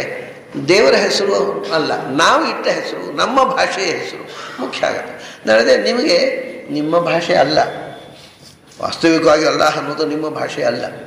ಅದರ ನಿಮಗೆ ನಿಮಗೆ ನೀವು ಯಾವ ದೇಶದಲ್ಲೇ ಇದ್ದರೂ ನಿಮಗೆ ಅದು ಮುಖ್ಯ ಆಗತ್ತೆ. ಅರೇಬಿಕ್. ಅಂದರೆ ನಿಮ್ಮ ಮೂಲ ಧರ್ಮ ಅದ ಭಾಷೆ ಅಂತ ನೀವು ಅದನ್ನು ನಿಮ್ಮ ಭಾಷೆ ಅಂತ. ಇಟ್ಕೊಳ್ಳಿಬೇಡಿ ನಮ್ಮ ಜನ ಸಂಸ್ಕೃತವನ್ನು ದೇವಭಾಷೆ ಅಂತ ಹೇಳಿದಾಗ ಅವರು ಅವರು ಅರೇಬಿಕನ್ನು ದೇವಭಾಷೆ ಅಂತಾರೆ. ಅದು ಅವರವ್ರ ನಂಬಿಕೆ. ನಮಗೆ ತಲೆಗೆಡಿಸೋ ಪ್ರಶ್ನೆ ಇಲ್ಲ. ಇವ್ರು ನಂಬ್ಕೊಳ್ಳಿ ಪಾಪ. ದೇವತೆಗಳಿಗೆ ಅರೇಬಿಕ್ ಬರುತ್ತೋ ಇಲ್ವೋ ಅಂತ ಏನು ಅದನ್ನು ನೀನು ವೈಜ್ಞಾನಿಕವಾಗಿ ಟೆಸ್ಟ್ ಮಾಡ್ಲಿಕ್ಕೆ ಹೋಗ್ಬೇಕಾ? ಏನು ಬೇಕಾದ್ರೆ ಹಾಕೊಳ್ಳಿ ನಮಗೇನು ಅದನ್ನು ತಲೆಬಿಸಿ ಇಲ್ಲ. ಅವರು ಹಾಗೆ ನಂಬಿಕೊಂಡಿದ್ದಾರೆ. ದೇವ ದೇವತೆಗಳಿಗೆ ಅರ್ಥ ಆಗಬೇಕಾಗಿದ್ದರೆ ಅರೇಬಿಕ್ನಲ್ಲೇ ಪ್ರೇಯರ್ ಮಾಡಬೇಕು. ಅಂದರೆ ಇಲ್ಲಿ ಬಂದರೂ ಅರೇಬಿಕ್ನಲ್ಲೇ ಪ್ರೇಯರ್ ಮಾಡಬೇಕು ಆಮೇಲೆ ಇನ್ನೂ ಭಯಂಕರ ಅಂತಂದರೆ, ನಮ್ಮ ಅಜ್ಞಾನ ಎಷ್ಟು ಗಾಢ ಅಂತಂದರೆ, ಸಾಮಾನ್ಯವಾಗಿ ನಮ್ಮ ಕರ್ನಾಟಕದಲ್ಲಿರತಕ್ಕಂಥ ನಾನು ನೋಡಿದ ಹಾಗೆ, ಹೆಚ್ಚಿನ ಮುಸಲ್ಮಾನರು ಅವರು ಕನ್ನಡ ಮಾತಾಡೋಲ್ಲ. ಯಾಕೆಂದರೆ ಅದು ನಮ್ಮ ಭಾಷೆ ಅಲ್ಲ ಅಂತ ಅವರಿಗೆ. ಅದು ಕಾಫಿರರ ಭಾಷೆ, ನಮ್ಮ ಭಾಷೆ ಅಲ್ಲ ಅಂತ ಕನ್ನಡ ಮಾತಾಡೋಲ್ಲ. ಕೇರಳದ ಮುಸಲ್ಮಾನರು ಮಲಯಾಳ ಮಾತಾಡ್ತಾರೆ. ನೋಡಿ, ಪ್ರತಿಯೊಬ್ಬರು ಅಭಿಮಾನಪೂರ್ವಕವಾಗಿ ತಮ್ಮ ರಾಜ್ಯ ಭಾಷೆ ಅಂತ ಮಲಯಾಳ ಮಾತಾಡ್ತಾರೆ. ತಮಿಳಿನಲ್ಲಿ ಇರತಕ್ಕಂಥ ಮುಸಲ್ಮಾನರು ತಮಿಳು, ಅವರು ತಮ್ಮ ಮಾತೃಭಾಷೆ ಅಂತ ಅಭಿಮಾನಪೂರ್ವಕವಾಗಿ ಮಾತಾಡ್ತಾರೆ. ತೆಲುಗಿನಲ್ಲಿ ಇರತಕ್ಕ ಮುಸಲ್ಮಾನರು ತೆಲುಗು ಮಾತಾಡ್ತಾರೆ. ಕರ್ನಾಟಕದಲ್ಲಿರುವ ಒಬ್ಬ ಮುಸಲ್ಮಾನನು ಕನ್ನಡವನ್ನು ತನ್ನ ಭಾಷೆ ಅಂತ ಒಪ್ಪಲ್ಲ. ಉಪಾಯ ಇಲ್ಲದಕ್ಕೆ ಮಾತಾಡ್ತಾರೆ ಹೊರತು ಅವ್ರು ತಮ್ಮ ಭಾಷೆ. ಅವ್ರ ಭಾಷೆ ಯಾವುದಂತೆ ಗೊತ್ತಾ? ಉರ್ದು ಅಂತೆ. ಅದು ಹೇಗಾಯಿತು? ಉರ್ದು ತಮ್ಮವಾಗಿ ಎಲ್ಲಿದನಗಾದ್ರೆ ಪಾಕಿಸ್ತಾನದವರು ಹಿಂದೆ ಬಾಂಗ್ಲಾದೇಶ, ಪಾಕಿಸ್ತಾನದ ಭಾಗವಾಗಿದ್ದಾಗ ಅವರಿಗೆ ಉರ್ದು ಮಾತಾಡದೆ ಬಾಂಗ್ಲಾ ಮಾತಾಡ್ತಾರೆ ಅಂತ ಅವರು ಸೆಕೆಂಡ್ ರೇಟ್ ಮುಸ್ಲಿಮ್ಸು ಅಂತ ಅನಾದರ ಮಾಡ್ತಿದ್ದರು ಉರ್ದು ಮಾತಾಡೋರು ಶ್ರೇಷ್ಠ ಮುಸಲ್ಮಾನರು, ಬಾಂಗ್ಲಾ ಮಾತಾಡೋರು ಸೆಕೆಂಡ್ ಕ್ಲಾಸ್ ಮುಸಲ್ಮಾನರು. ಯಾಕಂದ್ರೆ ಉರ್ದು ನಮ್ಮ ಭಾಷೆ ಅಂತ. ಎಷ್ಟು ಅಜ್ಞಾನ ರೀ. ಉರ್ದು ಕಾಶ್ಮೀರದ ಬ್ರಾಹ್ಮಣರು ಸೃಷ್ಟಿ ಮಾಡಿದ ಭಾಷೆ. ಕಾಶ್ಮೀರದ ಬ್ರಾಹ್ಮಣರ ಭಾಷೆ. ಅದು ಮುಸಲ್ಮಾನರ ಭಾಷೆ ಅಲ್ಲ. ಇಷ್ಟು ಅಜ್ಞಾನ ಅಂತಂದರೆ ಇರೂ ಗೊತ್ತಿಲ್ಲ. ಧರ್ಮದ ಹೆಸರಿನಲ್ಲಿ ಪೆದ್ದುತನದ ಪರಾಕಾಷ್ಠ ನೋಡ್ಬೇಕಾದ್ರೆ ಇಂಥ ಮಂದಿಯನ್ನು ನೋಡಬೇಕು. ಅದು ಕಾಶ್ಮೀರದ ಬ್ರಾಹ್ಮಣರು ಅರೇಬಿಕ್ಕು ಅದರ ಪ್ರಭಾವ ಮತ್ತು ಯಾಕಂದರೆ ಅರೇಬಿಕ್ಕು ಮತ್ತು ಹಿಂದಿ, ಹಿಂದೂಸ್ಥಾನಿ ಈ ಎರಡು ಭಾಷೆಗಳ ಪ್ರಭಾವದಿಂದ ಕಲಬೆರಕೆಯಿಂದ ಕಾಶ್ಮೀರಿ ಬ್ರಾಹ್ಮಣರು ಸೃಷ್ಟಿ ಮಾಡಿದ ಭಾಷೆ ಇದೆ. ಇದು ಐತಿಹಾಸಿಕವಾಗಿರತಕ್ಕ ಸಂಗತಿ. ಅವರಿಗೆ ಅದು ಮಾತೃಭಾಷೆ. ಉರ್ದು ಮಾತಾಡದೇ ಇದ್ದರೆ ಅಂದರೆ ಕಡೆಗೆ ಏನು ವಸ್ತುಸ್ಥಿತಿ ಏನಾಯ್ತು ಅಂದರೆ ನಿಜವಾದ ಮುಸಲ್ಮಾನ ಆಗಬೇಕಾದ್ರೆ ಬ್ರಾಹ್ಮಣರ ಭಾಷೆ ಮಾತಾಡೋದು. ಗೊತ್ತಿಲ್ಲ, ಇದೆಲ್ಲ ನಾನು ಯಾವುದನ್ನು ಪರಿಹರಿಸಲ್ಲ. ನಮ್ಮ ಅಜ್ಞಾನಕ್ಕೆ ಇತಿಮಿತಿಯೇ ಇಲ್ಲ. ಬರೀ ತಪ್ಪುಗಳ ಸರಮಾಲೆ ತಿಳ್ಕೊಂಡು ಅದನ್ನೇ ಧರ್ಮ ಅಂತ ಹಾರಾಡೋದು, ಹೋರಾಡೋದು ಬಿಟ್ಟರೆ ಸತ್ಯ ತಿಳ್ಕೊಳ್ಬೇಕು ಅನ್ನುವ ಜಿಜ್ಞಾಸೆ ನಮಗೆ ಅದರಿಂದ ಈಶ್ವರ ಅಂತ ಶಬ್ದ ಬಂದರೆ ಶಾಸ್ತ್ರಕಾರ ಏನು ಹೇಳ್ತಾರೆ? ಅಮ್ನಿ ಪ್ರೆಸೆಂಟ್ ಅಂತ ಅರ್ಥ. ಜಗತ್ತಿನ ಪರಶಕ್ತಿ ಅಷ್ಟೇ. ಅದನ್ನು ಅದಕ್ಕೋಸ್ಕರ ಪರಮೇಶ್ವರ ಅಂತ ಹೇಳಿದಲ್ಲಿ ಪರಮ ಬಿಟ್ಬಿಟ್ಟ ಸಮವಸ್ಥಿತಂ ಈಶ್ವರಂ. ನೋಡಿ, ಹಿಂದೆ ಹೇಳಿದ್ದಕ್ಕಿಂತ ಎಷ್ಟು ಹೊಸ ವಿಷಯಗಳು ಬಂತು ಈಗ. ಅದೇ ವಿಷಯ. ಆದರೆ ಇಲ್ಲಿ ಹೇಳುವ ಎಕ್ಸ್ಪ್ರೆಷನ್ ವ್ಯತ್ಯಾಸದಿಂದ ಎರಡು ಪ್ರಿಫಿಕ್ಸು ಮತ್ತು ಪರಮ ಶಬ್ದ ಮತ್ತು ಭೂತೇಶು ಡಿಲೀಟ್ ಮಾಡಿದ್ದರಿಂದ ಒಂದು ಹೊಸ ಆಯಾಮ ಬಂತು ಈ ಹೇಳಿಕೆಗೆ.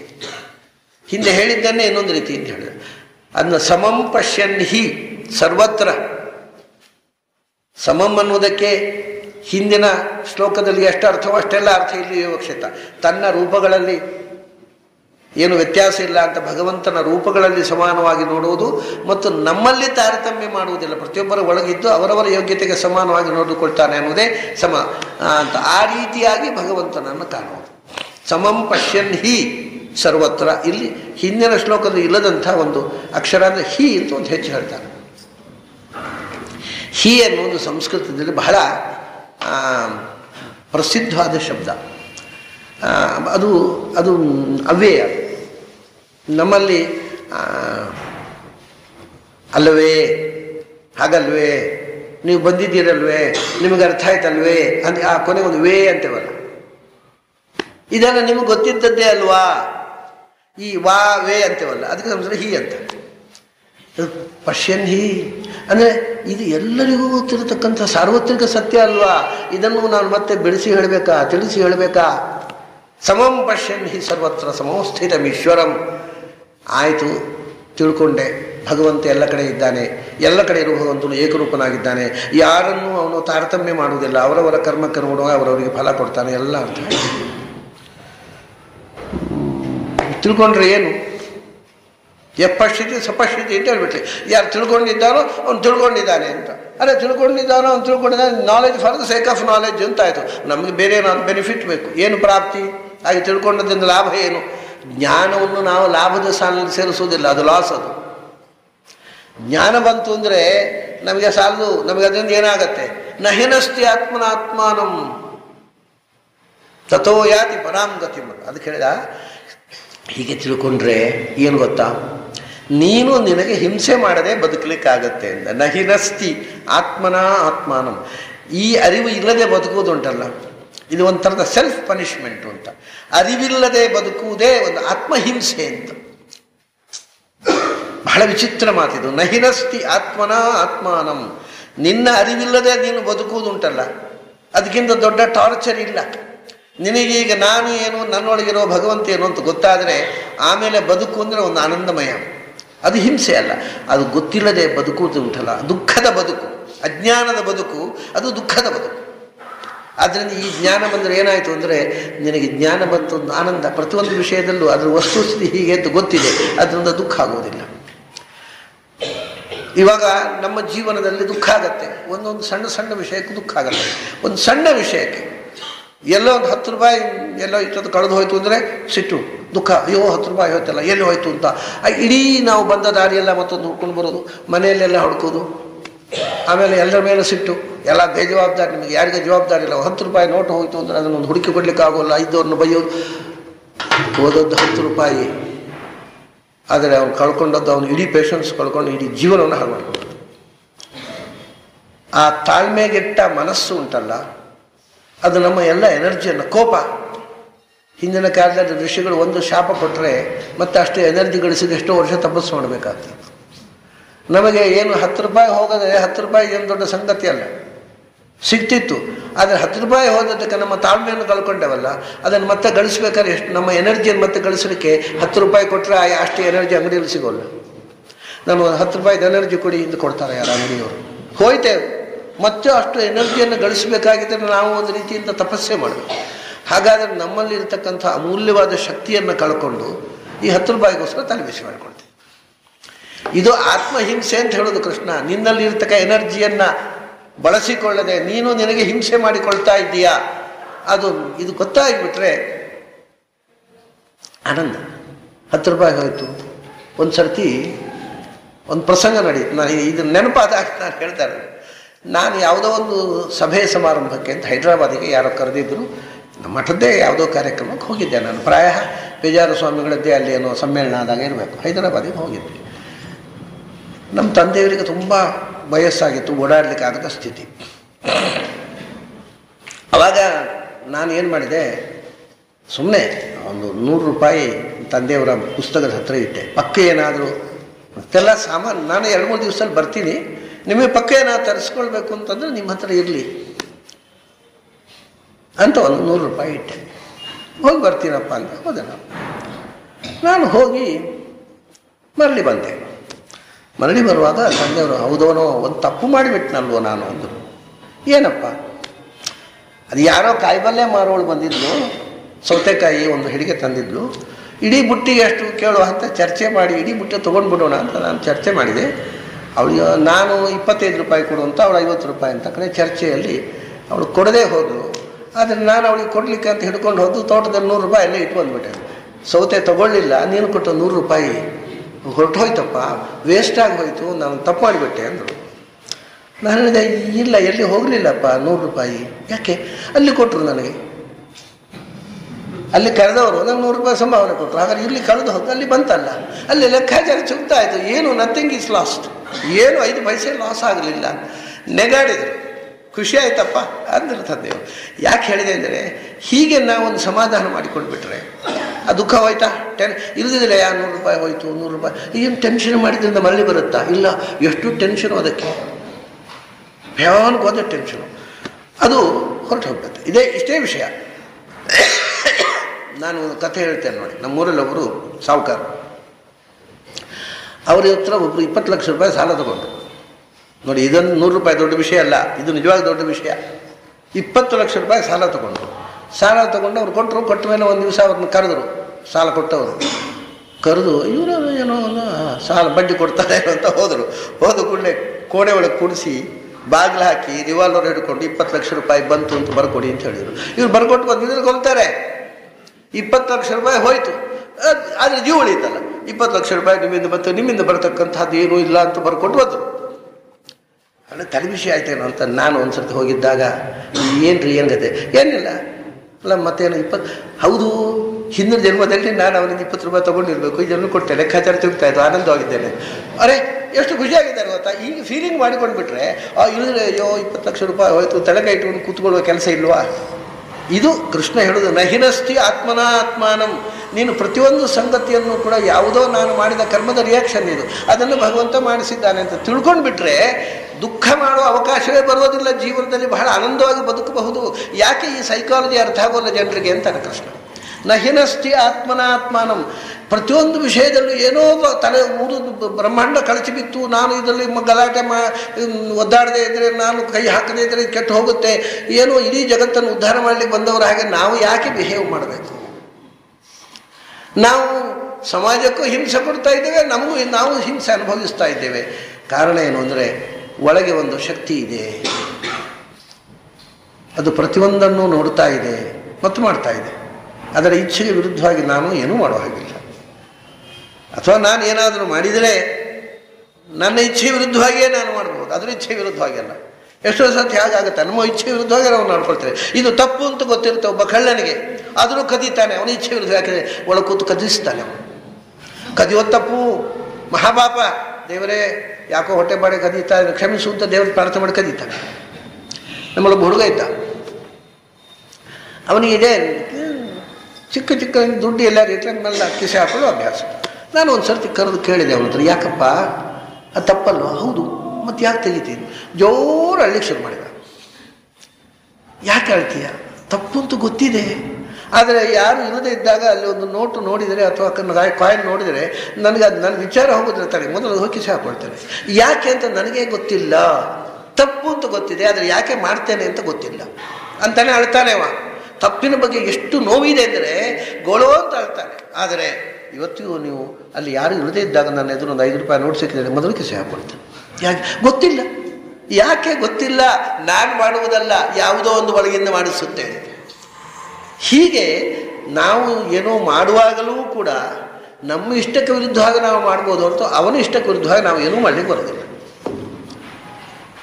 ನಾವು ಮಾಡ್ತಾ ಇದ್ದೇವೆ, ಅದು ನಮ್ಮ ಇಷ್ಟಕ್ಕೆ ಅಂತ ಹೇಳಲಿಕ್ಕೆ ಬರೋದಿಲ್ಲ ಯಾವುದೋ ಒಂದು ನಮ್ಮಿಂದ ಯಂತ್ರಾರೂಢಾನಿ ಮಾಯೆಯ ಮೆಷಿನ್ ಇದೆ. ಆ ಮೆಷಿನ್ನನ್ನು ನೀವು ಹೇಗೆ ಫೀಡ್ ಮಾಡಿದ್ರಿ, ಯಾವ ಬಟನ್ ಓದ್ತಿದ್ರೋ ಅದು ಕೆಲಸ ಆಗೋದು. ಕಂಪ್ಯೂಟರ್ಗೆ ತಲೆ ಇಲ್ಲ. ಕಂಪ್ಯೂಟರ್ನ ಮುಂದೆ ಕೂತ ನಮಗೆ ತಲೆ ಇದೆ ಅನ್ನೋ ಭ್ರಮೆ ಇದೆ. ಅದಕ್ಕೆ ಆ ಭ್ರಮೆ ಇಲ್ಲ, ಅಷ್ಟೇ ವ್ಯತ್ಯಾಸ. ಎರಡೂ ಇಲ್ಲದ ಪ್ರಾಣಿಗಳೇ, ಅದಕ್ಕೆ ತಲೆ ಇಲ್ಲ, ತಲೆ ಇದೆ ಅನ್ನೋ ಭ್ರಮೆ ಇಲ್ಲ. ಎದುರು ಕೂತವರಿಗೆ ತಲೆ ಇದೆ ಅನ್ನೋ ಭ್ರಮೆ ಇದೆ. ಇಷ್ಟು ಬಿಟ್ಟರೆ ಇನ್ನೇನೂ ಇಲ್ಲ. ಹಾಗಾಗಿ ಹೇಳ್ತಾನವ, ನಹಿನಸ್ತಿ ಆತ್ಮನಾತ್ಮಾನಂ. ಒಂದು ವಿಷಯ ಭಗವಂತನ ಬಗ್ಗೆ ತಪ್ಪು ತಿಳ್ಕೊಳ್ಳುವುದು ಭಗವಂತನಿಗೆ ಹಿಂಸೆ ಮಾಡಿದ ಹಾಗೆ. ಆತ್ಮ ಹನೋಜನ ಅಂತ ಭಗವಂತನನ್ನು ತಪ್ಪಾಗಿ ತಿಳ್ಕೊಳ್ಳೋದು ಭಗವಂತನ ಕೊಲೆ ಮಾಡಿದ ಹಾಗೆ. ನೀನು ಭಗವಂತನ ಕೊಲೆಗಾರ ಆಗ್ತೀಯ? ಸರಿಯಾಗಿ ತಿಳ್ಕೊಂಡ್ರೆ ಭಗವಂತನ ಕೊಲೆಯೂ ಇಲ್ಲ. ನಿನ್ನ ಮನಸ್ಸು, ನಿನ್ನ ಆತ್ಮಸಾಕ್ಷಿ ವಿರುದ್ಧವಾಗಿ ಬದುಕುವುದಿಲ್ಲ ಯಾರಿಗೂ ಹಿಂಸೆ ಇಲ್ಲ. ಆನಂದವಾಗಿ ಬದುಕು. ಈ ಆನಂದವಾದ ಇದ್ದದ್ದನ್ನು ಇದ್ದ ಹಾಗೆ ಭಗವಂತನ ಇಚ್ಛೆಯಂತೆ ನಡೀತಾ ಇದೆ. ಎಲ್ಲವನ್ನು ಹಾಗೆ ತಟಸ್ಥನಾಗಿ ವೀಕ್ಷಕ, ನಾಟಕದಲ್ಲಿ ನಡೆದ ಪ್ರತಿಯೊಂದು ಘಟನೆಯನ್ನು ಪ್ರೇಕ್ಷಕನಂತೆ ನೋಡು. ಅದು ಇನ್ವಾಲ್ವ್ ಮಾಡ್ಕೊಂಡು ನಾವು ಸಿಟ್ಟಿಗೆ ಹೇಳ್ತೇವ? ಈಗ ನಾಟಕದಲ್ಲಿ ರಾವಣ ಸೀತೆಯನ್ನು ಅಪಹಾರ ಮಾಡ್ಕೊಂಡು ಹೋದ. ನಾವು ಎಷ್ಟು ಖುಷಿ. ಆಹಾ, ಏನು ಬ್ಯೂಟಿಫುಲ್ ಆಗಿ ಆ ಸೀತೆಯನ್ನು ಹಾರಿಸ್ಕೊಂಡು ಹೋದ. ಇಲ್ಲ, ಅವನು ಬರಲಿ ಬಣ್ಣ ಕಳಿಸಿ ಅವನ ಸೊಂಟ ಮುರಿತೇವೆ ಅಂತ ಹೇಳ್ತೇವೆ? ಯಾಕೆ ನಮ್ಗೆ ಗೊತ್ತಿದೆ ಅದು ನಾಟಕ ಅಂತ. ಸೊ ಅವ್ರು ಹೇಳ್ತಾರೆ, ಯಾವುದು ಆಗಬೇಕು ಅದು ಆಗ್ತಾ ಇರ್ತದೆ. ಅದನ್ನು ನೀನು ತಲೆ ಕೆಡಿಸಿಕೊಂಡು ಗೊಂದಲ ಮಾಡುವುದರಲ್ಲಿ ಯಾವ ಅರ್ಥ ಇದೆ? ಮತ್ತು ಅದನ್ನು ಸಹಜವಾಗಿ ನಡೆಯುವ ತೆರೆಗಳು, ಅಲೆಗಳು ಅಂತ ನೋಡ್ತಾ ಕೂತ್ಬಿಟ್ರೆ, ಆ ಸಮುದ್ರದ ಅಲೆಗಳನ್ನು ಎಂಜಾಯ್ ಮಾಡ್ಬೋದು. ಅಲೆಗಳು ಬಾರದ ಹಾಗೆ ಮಾಡಿ ಅದನ್ನು ಹತ್ತಲಾಗಿ ದೂಡಿ ಬಿಡ್ತೇನೆ ಅಂತ ಹೋದರೆ ನೀನು ನೀರಿನಲ್ಲಿ ಮುಳುಗೋದು ಹೊರತು ಅಲೆ ನಿಲ್ಲೋದಿಲ್ಲ. ಅದರಿಂದ ಅದು ಶಾಂತವಾದ ಬದುಕಿನ ದಾರಿ. ಶಾಂತವಾದ ಬದುಕಿನಿಂದ ಕೊನೆಗೆ ನಮ್ಮನ್ನು ಶಾಂತಿಯ ಕಡೆಗೆ ತಥೋ ಯಾತಿ ಪರಾಂ ಗತಿವು ನಾವು ಹೋಗಬೇಕಾದ ತುತ್ತ ತುದಿಯ ಸ್ಥಾನ ಅಂದರೆ ಶಾಂತವಾದ ಸ್ಥಿತಿ, ದುಃಖವಿಲ್ಲದ ಸ್ಥಿತಿ, ಅಲ್ಲಿಗೆ ನಿನ್ನನ್ನು ಕೊಂಡೊಯ್ಯುವ ಮನಸ್ಥಿತಿ ಇದು. ಪ್ರತಿಯೊಂದು ಕ್ರಿಯೆ ಹಿಂದೆ ಭಗವಂತನ ಪ್ರೇರಣೆಯನ್ನು ನೋಡು. ಪ್ರತಿಯೊಂದರ ಒಳಗೆ ಭಗವಂತನನ್ನು ನೋಡು. ನಾನು ಮಾಡ್ತೇನೆ ಅನ್ನೋ ಅಹಂಕಾರ ಬಿಡು. ಯಾವುದರಿಂದಲೂ ನೀನು ತಲೆ ಕೆಡಿಸ್ಕೊಂಡು, ಅಯ್ಯೋ, ಹಾಗಾಯ್ತಲ್ಲ, ಹೀಗಾಯ್ತಲ್ಲ ಅಂತ ಹಾರಾಡಬೇಡ, ಕೂಗಾಡಬೇಡ. ಇದು ಹಿಂದೆ ಹೇಳಿದ್ದನ್ನೇ ಪುನಃ ಹೇಳುವಾಗ ಎಷ್ಟು ಹೊಸ ಆಯಾಮ ತಂದುಬಿಟ್ಟ ಕೃಷ್ಣ. ತಥೋ ಯಾತಿ ಪರಾಮುಖತೆ. ಹೀಗೆ ಸಮಂ ಪಶ್ಯನ್ ಹಿ ಸರ್ವತ್ರ ಸಮೋಸ್ಥಿತಮೀಶ್ವರಂ ನಹಿನಸ್ತಿ ಆತ್ಮನ ಆತ್ಮಾನಂ. ತನ್ನ ಮನಸ್ಸೇ ನನ್ನ ಆತ್ಮೈವ ಆತ್ಮನೋ ಬಂಧು ನನ್ನ ಮನಸ್ಸೇ ನನಗೆ ಹಿಂಸೆ ಕೊಡುವುದು. ನನ್ನ ಮನಸ್ಸೇ ನನಗೆ ಆನಂದ ಕೊಡುವುದು. ನಾವು ತಪ್ಪು ತಿಳ್ಕೊಂಡಾಗ ಅದು ಆ ವಸ್ತುವನಿಗೂ ನಾವು ಹಿಂಸೆ ಮಾಡಿದ ಹಾಗೆ ನಮಗೆ ನಾವು ಹಿಂಸೆ ಮಾಡಿಕೊಂಡ ಹಾಗೆ. ನಮಗೆ ದುಃಖ ಬರುವುದು ಯಾವುದರಿಂದ? ನಮಗೆ ನಾವು ಮಾಡಿಕೊಂಡ ಹಿಂಸೆಯಿಂದ. ಅದು ಯಾರು ಮಾಡೋದು? ಇನ್ಯಾರೋ ಊರಿನವ್ರು ಮಾಡೋದಲ್ಲ ಹಿಂಸೆ. ನಮ್ಮ ಮನಸ್ಸೇ ನಮಗೆ ಹಿಂಸೆ ಕೊಡೋದು ನಮ್ಮ ಮನಸ್ಸೇ ನಮ್ಮ ದುಃಖಕ್ಕೆ ಕಾರಣ. ನಮ್ಮ ಮನಸ್ಸೇ ನಮ್ಮ ಆನಂದಕ್ಕೆ ಕಾರಣ. ಹೌ ಟು ಕನ್ಸೀವ್ ಇಟ್ ಅದನ್ನು ಹೇಗೆ ಗ್ರಹಿಸುತ್ತೇವೆ ಅನ್ನೋದರ ಮೇಲೆ ಈ ಸ್ಥಿತಿ ನಿಂತಿದೆ ಕೃಷ್ಣ ಹೇಳಿದ ಏನು ಭಗವದ್ಗೀತೆಯ ಒಂದು ಶ್ಲೋಕ ಸಾಕು ಜೀವನಕ್ಕೆ. ಇಂಥ ನೂರಾರು ಶ್ಲೋಕಗಳು, ಒಂದು ಶ್ಲೋಕ ನಮಗೆ ಅರ್ಥ ಆದರೆ ಜೀವನದಲ್ಲಿ ನಾವು ಬಹಳ ಸುಲಭವಾಗಿ ಪ್ರಾಬ್ಲಮ್ಸ್ಗಳನ್ನು ದಾಟಿ ಬದುಕಬಹುದು ಇಷ್ಟು ಸರಳವಾದ psychoanalysis of life and psychotherapy ಮಾನಸಿಕವಾಗಿ ನಾವು ಹೇಗೆ ಬದುಕಬೇಕು ಎಂದು ಸೈಕೋಥೆರಪಿ ಇದಕ್ಕಿಂತ ದೊಡ್ಡ ಔಷಧ ಬೇರೆ ಏನೂ ಬೇಕಿಲ್ಲ. ಬಹಳ ಅದ್ಭುತವಾದಂಥ ಮನಸ್ಸಿನ ಆರೋಗ್ಯಕ್ಕೆ, ಮನಸ್ಸು ಆರೋಗ್ಯವಾಗಿದ್ದರೆ ದೇಹವು ಆರೋಗ್ಯವಾಗಿದೆ ದೇಹ ಆರೋಗ್ಯಕ್ಕಿರಲಿಕ್ಕೆ ಕಾರಣ ಮೂಲತಃ ಸೈಕೋಥೆರಪಿ ಇದ್ದರೆ ಫಿಸಿಯೋಥೆರಪಿ ಬೇಕಾಗಲ್ಲ. ಯಾಕೆಂದರೆ ಸೈಕಾಲಜಿ ಸರಿ ಆಯಿತು ಅಂದರೆ, ಮನಸ್ಥಿತಿ ಸರಿ ಆಯಿತು ಅಂದರೆ ಯಾವಾಗಲೂ ಮನಃಪ್ರಭವ ರೋಗಾ ಸರ್ವೇಪಿ ರೋಗಾ ಮನಃಪ್ರಭವ ಅಂತ ಭಾರತದಲ್ಲಿ ಭೀಮಸೇನ ಹೇಳ್ತಾರೆ ರೋಗಗಳು ದೇಹದ ಮೇಲೆ ಬರೋದಲ್ಲ, ಮನಸ್ಸಿನ ಮೇಲೆ. ನಿಮ್ಮ ಮನಸ್ಸು ಆರೋಗ್ಯವಾಗಿದ್ದರೆ ದೇಹ ರೋಗ, ದೇಹಕ್ಕೆ ರೋಗ ಬರದಂತೆ ಮಾಡಬಹುದು. ವಿಷಯ ಗೊತ್ತುಂಟ? ಒಂದು ಘನ ರೋಗ ನಿಮಗೆ ಅಟ್ಯಾಕ್ ಆಗಿದೆ ಅಂತ ಯಾರಾದರೂ ಡಾಕ್ಟ್ರು ಹೇಳಿದರು ಅಂತ ಇಟ್ಟುಕೊಳ್ಳಿ. ಡಾಕ್ಟ್ರಿಗೆ ಗುಣ ಮಾಡಲಿಕ್ಕೆ ಆಗೋದಿಲ್ಲ ಅವರು ಅದಕ್ಕೆ ಔಷಧ ಕೊಟ್ಟು, ಆದರೆ ಎಂಥದೇ ಘನ ರೋಗ ಬರಲಿ, ನಿಮ್ಮ ಮನಸ್ಸು ಸ್ಟ್ರಾಂಗ್ ಇದ್ದರೆ ನನಗೆ ಆ ರೋಗ ಬರಬಾರದು. ನಾನು ಅದನ್ನು ಓವರ್ಕಮ್ ಮಾಡಬೇಕು ಅಂತ ನೀವು ಸ್ಟ್ರಾಂಗ್ ಆಗಿ ಮನಸ್ಸಿನಲ್ಲಿ ವಿಲ್ ಮಾಡಿದರೆ ಇನ್ನೊಂದು ಸರ್ತಿ ಟೆಸ್ಟ್ ಮಾಡಲಿಕ್ಕೆ ಹೋಗುವಾಗ ಸುಮಾರು ಗುಣ ಆಗಿದೆ ರೀ ಅಂತಾರೆ ಡಾಕ್ಟ್ರು ಇದು ಸತ್ಯಸ್ಥಿತಿ. ನಾನೇನು ಅತಿಶಯೋಕ್ತಿ ಹೇಳ್ತಾ ಇಲ್ಲ. ನಮ್ಮ ಮನಸ್ಸು, ನಮ್ಮ ಕಾಯಿಲೆಗಳನ್ನು ಗುಣಪಡಿಸುವುದಕ್ಕೆ ಕಾಪರೇಟ್ ಮಾಡಿದರೆ ಡಾಕ್ಟ್ರ್ ಬೇಕಾಗಲ್ಲ. ಆದರೆ ಡಾಕ್ಟ್ರ್ ನಿಮ್ಗೆ ಏನೋ ಕಾಯಿಲೆ ಇಲ್ಲ ಅಂತ ಹೇಳ್ತಾರೆ. ಡಾಕ್ಟ್ರಿಗೆ ಗೊತ್ತಾಗೋದಿಲ್ಲ ಏನೋ ಇದೆ ಒಳಗೆ ಇವನಿಗೆ ಅಷ್ಟು ಬಂತೋ, ಇವನು ದಿನದಿಂದ ದಿನಕ್ಕೆ ಕ್ಷೀಣ ಆಗಲಿ ಶುರುವಾದ ಹಾಸಿಗೆ ಯಾಕೆಂದರೆ ಡಾಕ್ಟ್ರ್ ಇಲ್ಲ ಮನಸ್ಸೊಪ್ಪಲ್ಲ ಇದೆ ಅಂತ ಹೇಳ್ತಾರೆ. ಸೊ ಅದರಿಂದ ನಮ್ಮ ಶಾಸ್ತ್ರಕಾರ ಹೇಳಿದರು, ರೋಗ ಅನ್ನೋದು ದೇಹದ್ದಲ್ಲ, ಮನಸ್ಸಿನದ್ದು. It is psychic it is not physical ಆದ್ದರಿಂದ ಮನಸ್ಸಿನಲ್ಲಿ ನನಗೆ ರೋಗ ಇಲ್ಲ ಅಂತ ನೀವು ಕನ್ವಿಕ್ಷನ್ ತಳೆದರೆ ತನ್ನಷ್ಟಕ್ಕೆ ಗುಣ ಆಗುತ್ತೆ. ಎಂಥದೋ ಉಂಟು ಒಳಗೆ, ಅದು ಡಾಕ್ಟ್ರಿಗೆ ಕೂಡ ಗೊತ್ತಾಗೋದಿಲ್ಲ ಮಾರಾಯ ನೀವು ಶುರು ಮಾಡಿದರೆ. ಎಂತ ಒಂದು ಬಂದೇ ಬರ್ತದೆ.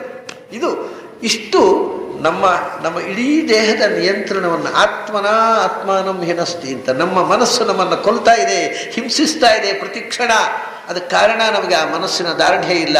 ದಾರ್ಢ್ಯ ಇಲ್ಲದೇ ಇರೋದು ಕಾರಣ ನಮಗೆ ಈ ಸತ್ಯದ ಅರಿವಿಲ್ಲ, ಒಳಗಿರತಕ್ಕಂಥ ಭಗವಂತ, ಅವನ ರಕ್ಷಣೆ. ರಕ್ಷತೀತ್ಯೇವ ವಿಶ್ವಾಸ. ನಮ್ಮಲ್ಲೊಬ್ಬರು ಹಳಬರಿದ್ದರು ನೋಡಿ, ನಾನು ಹೇಳೋದು ಹಾಗೆ ನೀವು ಮಾಡಬೇಕು ಅಂತಲ್ಲ, ಆದರೆ ಆ ಕನ್ವಿಕ್ಷನ್ ಹೇಳೋದು, ಅವರು ಮನೆಯಲ್ಲಿ ವಯಸ್ಸಾದವರು ಅವ್ರ ಮನೆಯಲ್ಲಿ ಮಕ್ಕಳಿಗೆ ಏನಾದರೂ ಕಾಯಿಲೆ ಜ್ವರ ಬಂದರೆ ಅವರು ಔಷಧ ಕೊಡ್ತಿರ್ಲಿಲ್ಲ. ಡಾಕ್ಟ್ರ್ ಹತ್ರ ಕಳಿಸ್ತಿರ್ಲಿಲ್ಲ. ಹಳೆ ಕಾಲದ ಮರ್ಜಿ, ಅದು ಸರಿಯೋ ತಪ್ಪೋ ಬೇರೆ, ಆದರೆ ಆ ಕನ್ವಿಕ್ಷನ್ ಬಹಳ ದೊಡ್ಡದು. ಕಾಯಿಲೆ ಹೆಂಡ್ತಿ ಹೋಗಿ ಅವ್ರ ಹತ್ರ ಹೋಗಿ, ಹೌದಾ, ನೀವು ಸುಮ್ಮನೆ ಕೂತಿದ್ದೀರಿ, ಮಗಳು ಮಗಳು ಒಂದು ಹುಡುಗಿ ಪಾಪ, ಮದುವೆ ಆಗಿರಲಿಲ್ಲ, ಮದುವೆಗೆ ನಿಂತಿದೆ, ಅದಕ್ಕೆ ಜ್ವರ ಬರ್ತಾ ಇದೆ. ಜ್ವರ ಬಂದರೆ ಅನಂತೇಶ್ವರಕ್ಕೆ ಹೋಗಿ ಆ ಅಭಿಷೇಕದ ಕುಂಡಿಕೆಯ ತೀರ್ಥ ತಂದು ಕುಡಿಯಲಿ. ಗುಣ ಆಗುತ್ತೆ, ಅಷ್ಟೇ. ಡಾಕ್ಟರ್ ಹೋಗೋದು ಹೇಳ್ತಿರ್ಲಿಲ್ಲ ಇಲ್ಲೋ. ನಿಮಗೆ ನಿಜವಾಗಿ ಅನಂತೇಶ್ವರನ ಮೇಲೆ ನಂಬಿಕೆ ಇದ್ರೆ ಖಂಡಿತ ಕೂಡ ಆಗುತ್ತೆ. ಅದು ನಿಮಗೆ ನಮಗೇನಾಗುತ್ತೆ ಅಲ್ಲ, ಈ ಅಪ್ಪನಿಗೆ ಬುದ್ಧಿ ಉಂಟ. ಕುಂಡಿಗೆ ನೀರು ಕುಡಿದು ಜ್ವರ ಗುಣ ಆಗೋದು ಅಂತ ಬೈಕೋತಾ ಕುಡಿತೇವೆ, ಜ್ವರ ಗುಣ ಆಗೋದು. This is this is thing ಮನಸ್ಸು ಕಾಪರೇಟ್ ಆದರೆ ಅನಂತೇಶ್ವರ ತೀರ್ಥದಲ್ಲಿ ಗುಣ ಆಗುತ್ತೆ ಮಧ್ಯ ಸರೋವರದಲ್ಲೂ ಗುಣ ಆಗುತ್ತೆ. ಆದರೆ ಮನಸ್ಸು ಕಾಪರೇಟ್ ಮಾಡದೇ ಇದ್ದರೆ ಯಾವುದರಿಂದ ಗುಣ ಆಗೋದು ಯಾವ ದೇವರು ಗುಣ ಮಾಡೋದು ಅದರಿಂದ ನಮಗೆ ನಮ್ಮ ಜೀವನದಲ್ಲಿ ಹಿಂಸೆ ಕೊಡ್ತಕ್ಕಂಥ ವಸ್ತು ಪಕ್ಕದವರಲ್ಲ, ನಮ್ಮ ಶತ್ರುಗಳಲ್ಲ, ನಮ್ಮ ಆಗದವರಲ್ಲ, ನಮ್ಮ ಮನಸ್ಸು. ಅದು ನಮಗೆ ಹಿಂಸೆ ಕೊಡ್ತಾ ಇರೋದು. ಅದು ಹಿಂಸೆ ಕೊಡದೇ ಇರಬೇಕಾಗಿದ್ದರೆ ನಮಗೆ ಸತ್ಯದ ಅರಿವು ಬಂದಾಗ ಅದರ ಲಿಮಿಟೇಷನ್ಸ್ ಗೊತ್ತಾಗ್ತದೆ ನಾವು ಮನಸ್ಸು ಹೇಳಿದ ಹಾಗೆ ಕುಣಿಯೋಲ್ಲ, ಆಗ ಮನಸ್ಸು ತಪ್ಪಗಾಗ್ತದೆ. ಸನ್ನೆ ಆಯ್ತಪ್ಪ, ನಿನಗೆ ತೊಂದರೆ ಕೊಡೋಲ್ಲ, ಏನು ಮಾಡಬೇಕು? ನೀನು ಹೇಳಿದ ಹಾಗೆ ಮಾಡ್ತೀನಿ. ಈ ರೀತಿ ಮನಸ್ಸನ್ನು ಮಣಿಸಿ ಕುಂತು ತಥೋಯಾತಿ ಪರಾಂಗತಿ ಮತ್ತೆ ಏನು ಸಮಸ್ಯೆ ಮುಗಿದೋಯ್ತಲ್ಲಿ. ಹೀಗೆ ಭಗವಂತನ ಕಡೆಗೆ ಸಾಗುವುದು ಅಂದರೆ ನಮ್ಮ ಮನಸ್ಸನ್ನು ಮೊದಲು ನಮ್ಮ ನಿಯಂತ್ರಣಕ್ಕೆ ತೆಗೆದುಕೊಳ್ಳುವುದು. ಅದಕ್ಕೋಸ್ಕರ ಒಳಗಿರ್ತಕ್ಕ ಸತ್ಯದ ಸರಿಯಾದ ಜ್ಞಾನ, ಅರಿವು ಬಹಳ ಮುಖ್ಯ ಅಂತ. ಕೃಷ್ಣ, ನನಗೆ ಒಮ್ಮೊಮ್ಮೆ ಆಶ್ಚರ್ಯ ಆಗೋದು. ಇಷ್ಟು ಬ್ಯೂಟಿಫುಲ್ಲಾಗಿ ಸೈಕಾಲಜಿ ಹೇಳಿದರೂ ಕೂಡ ಒಂದು ಐದು ಸಾವಿರ ವರ್ಷ ಆದರೂ ಜನರಿಗೆ ಇನ್ನೂ ಕನ್ವಿನ್ಸ್ ಆಗಲಿಲ್ಲಲ್ಲ. ಇಂಥ ಒಂದು ಅದ್ಭುತ ಹೇಳಿದ್ದಾನೆನ್ನುವ ಎಚ್ಚರ ಕೂಡ ಇಲ್ಲದೆ ಬದುಕ್ತಾ ಇದ್ದಾರಲ್ಲ ಜನ. ಇದು ಒಂದೊಂದು ಶ್ಲೋಕ ಕೇಳಿದರೆ ಜನ್ಮ ಸಾರ್ಥಕ ಅನ್ನಿಸ್ತದೆ. ಇಂಥ ಒಂದು ಅದ್ಭುತ ವಿದ್ಯೆಯನ್ನು ಕೃಷ್ಣ ಕೊಟ್ಟು ಐದು ಸಾವಿರ ವರ್ಷ ಹೋದರೂ ಇವತ್ತು ನಮ್ಮ ಹುಡುಗರು ನನ್ನ ಹತ್ರ ಪ್ರಶ್ನೆ ಹಾಕ್ತಾರೆ, ನಿಮ್ಮ ಭಗವದ್ಗೀತೆ, ಅವರು ನಮ್ಮ ಭಗವದ್ಗೀತೆ ಅಲ್ಲ, ನಿಮ್ಮ ಭಗವದ್ಗೀತೆ ಓದಿದರೆ ಹೊಟ್ಟೆ ತುಂಬುತ್ತಾ ಅಂತ ಪ್ರಶ್ನೆ ಹಾಕುವ ಮುಠಾಳರು ಇವತ್ತು ಈ ದೇಶದಲ್ಲಿದ್ದಾರೆ. ಎಂಥ ಸಂಪತ್ತು, ಎಂಥ ಸೈಕಾಲಜಿ ಎಂಥ ದೊಡ್ಡ ವಿಸ್ಡಮ್ ಅದನ್ನು ಕಳ್ಕೊಂಡು ನಾವು ಎಷ್ಟು ದಡ್ಡರಾಗ್ತಿದ್ದೇವೆ ಅನ್ನೋ ಎಚ್ಚರ ಕೂಡ ಇಲ್ಲ ನಮಗೆ. ಕೃಷ್ಣನೇ ನಮ್ಮನ್ನು ಉದ್ಧಾರ ಮಾಡಬೇಕು ಅಂತ ಪ್ರಾರ್ಥಿಸೋಣ. ಅದರ ಜೊತೆಗೆ ಇವತ್ತಿನ ಈ ಶ್ಲೋಕದ ಚಿಂತನೆಯನ್ನು ಮುಗಿಸೋಣ. ಮತ್ತೆ ನಾಳೆ ಸಂಜೆ ಸೇರಿದಾಗ ಅಲ್ಲಿ ತನಕ ನಿಮಗೆಲ್ಲ ಅಭಿನಂದನೆಗಳು ಮತ್ತು ಅಭಿವಂದನೆಗಳು.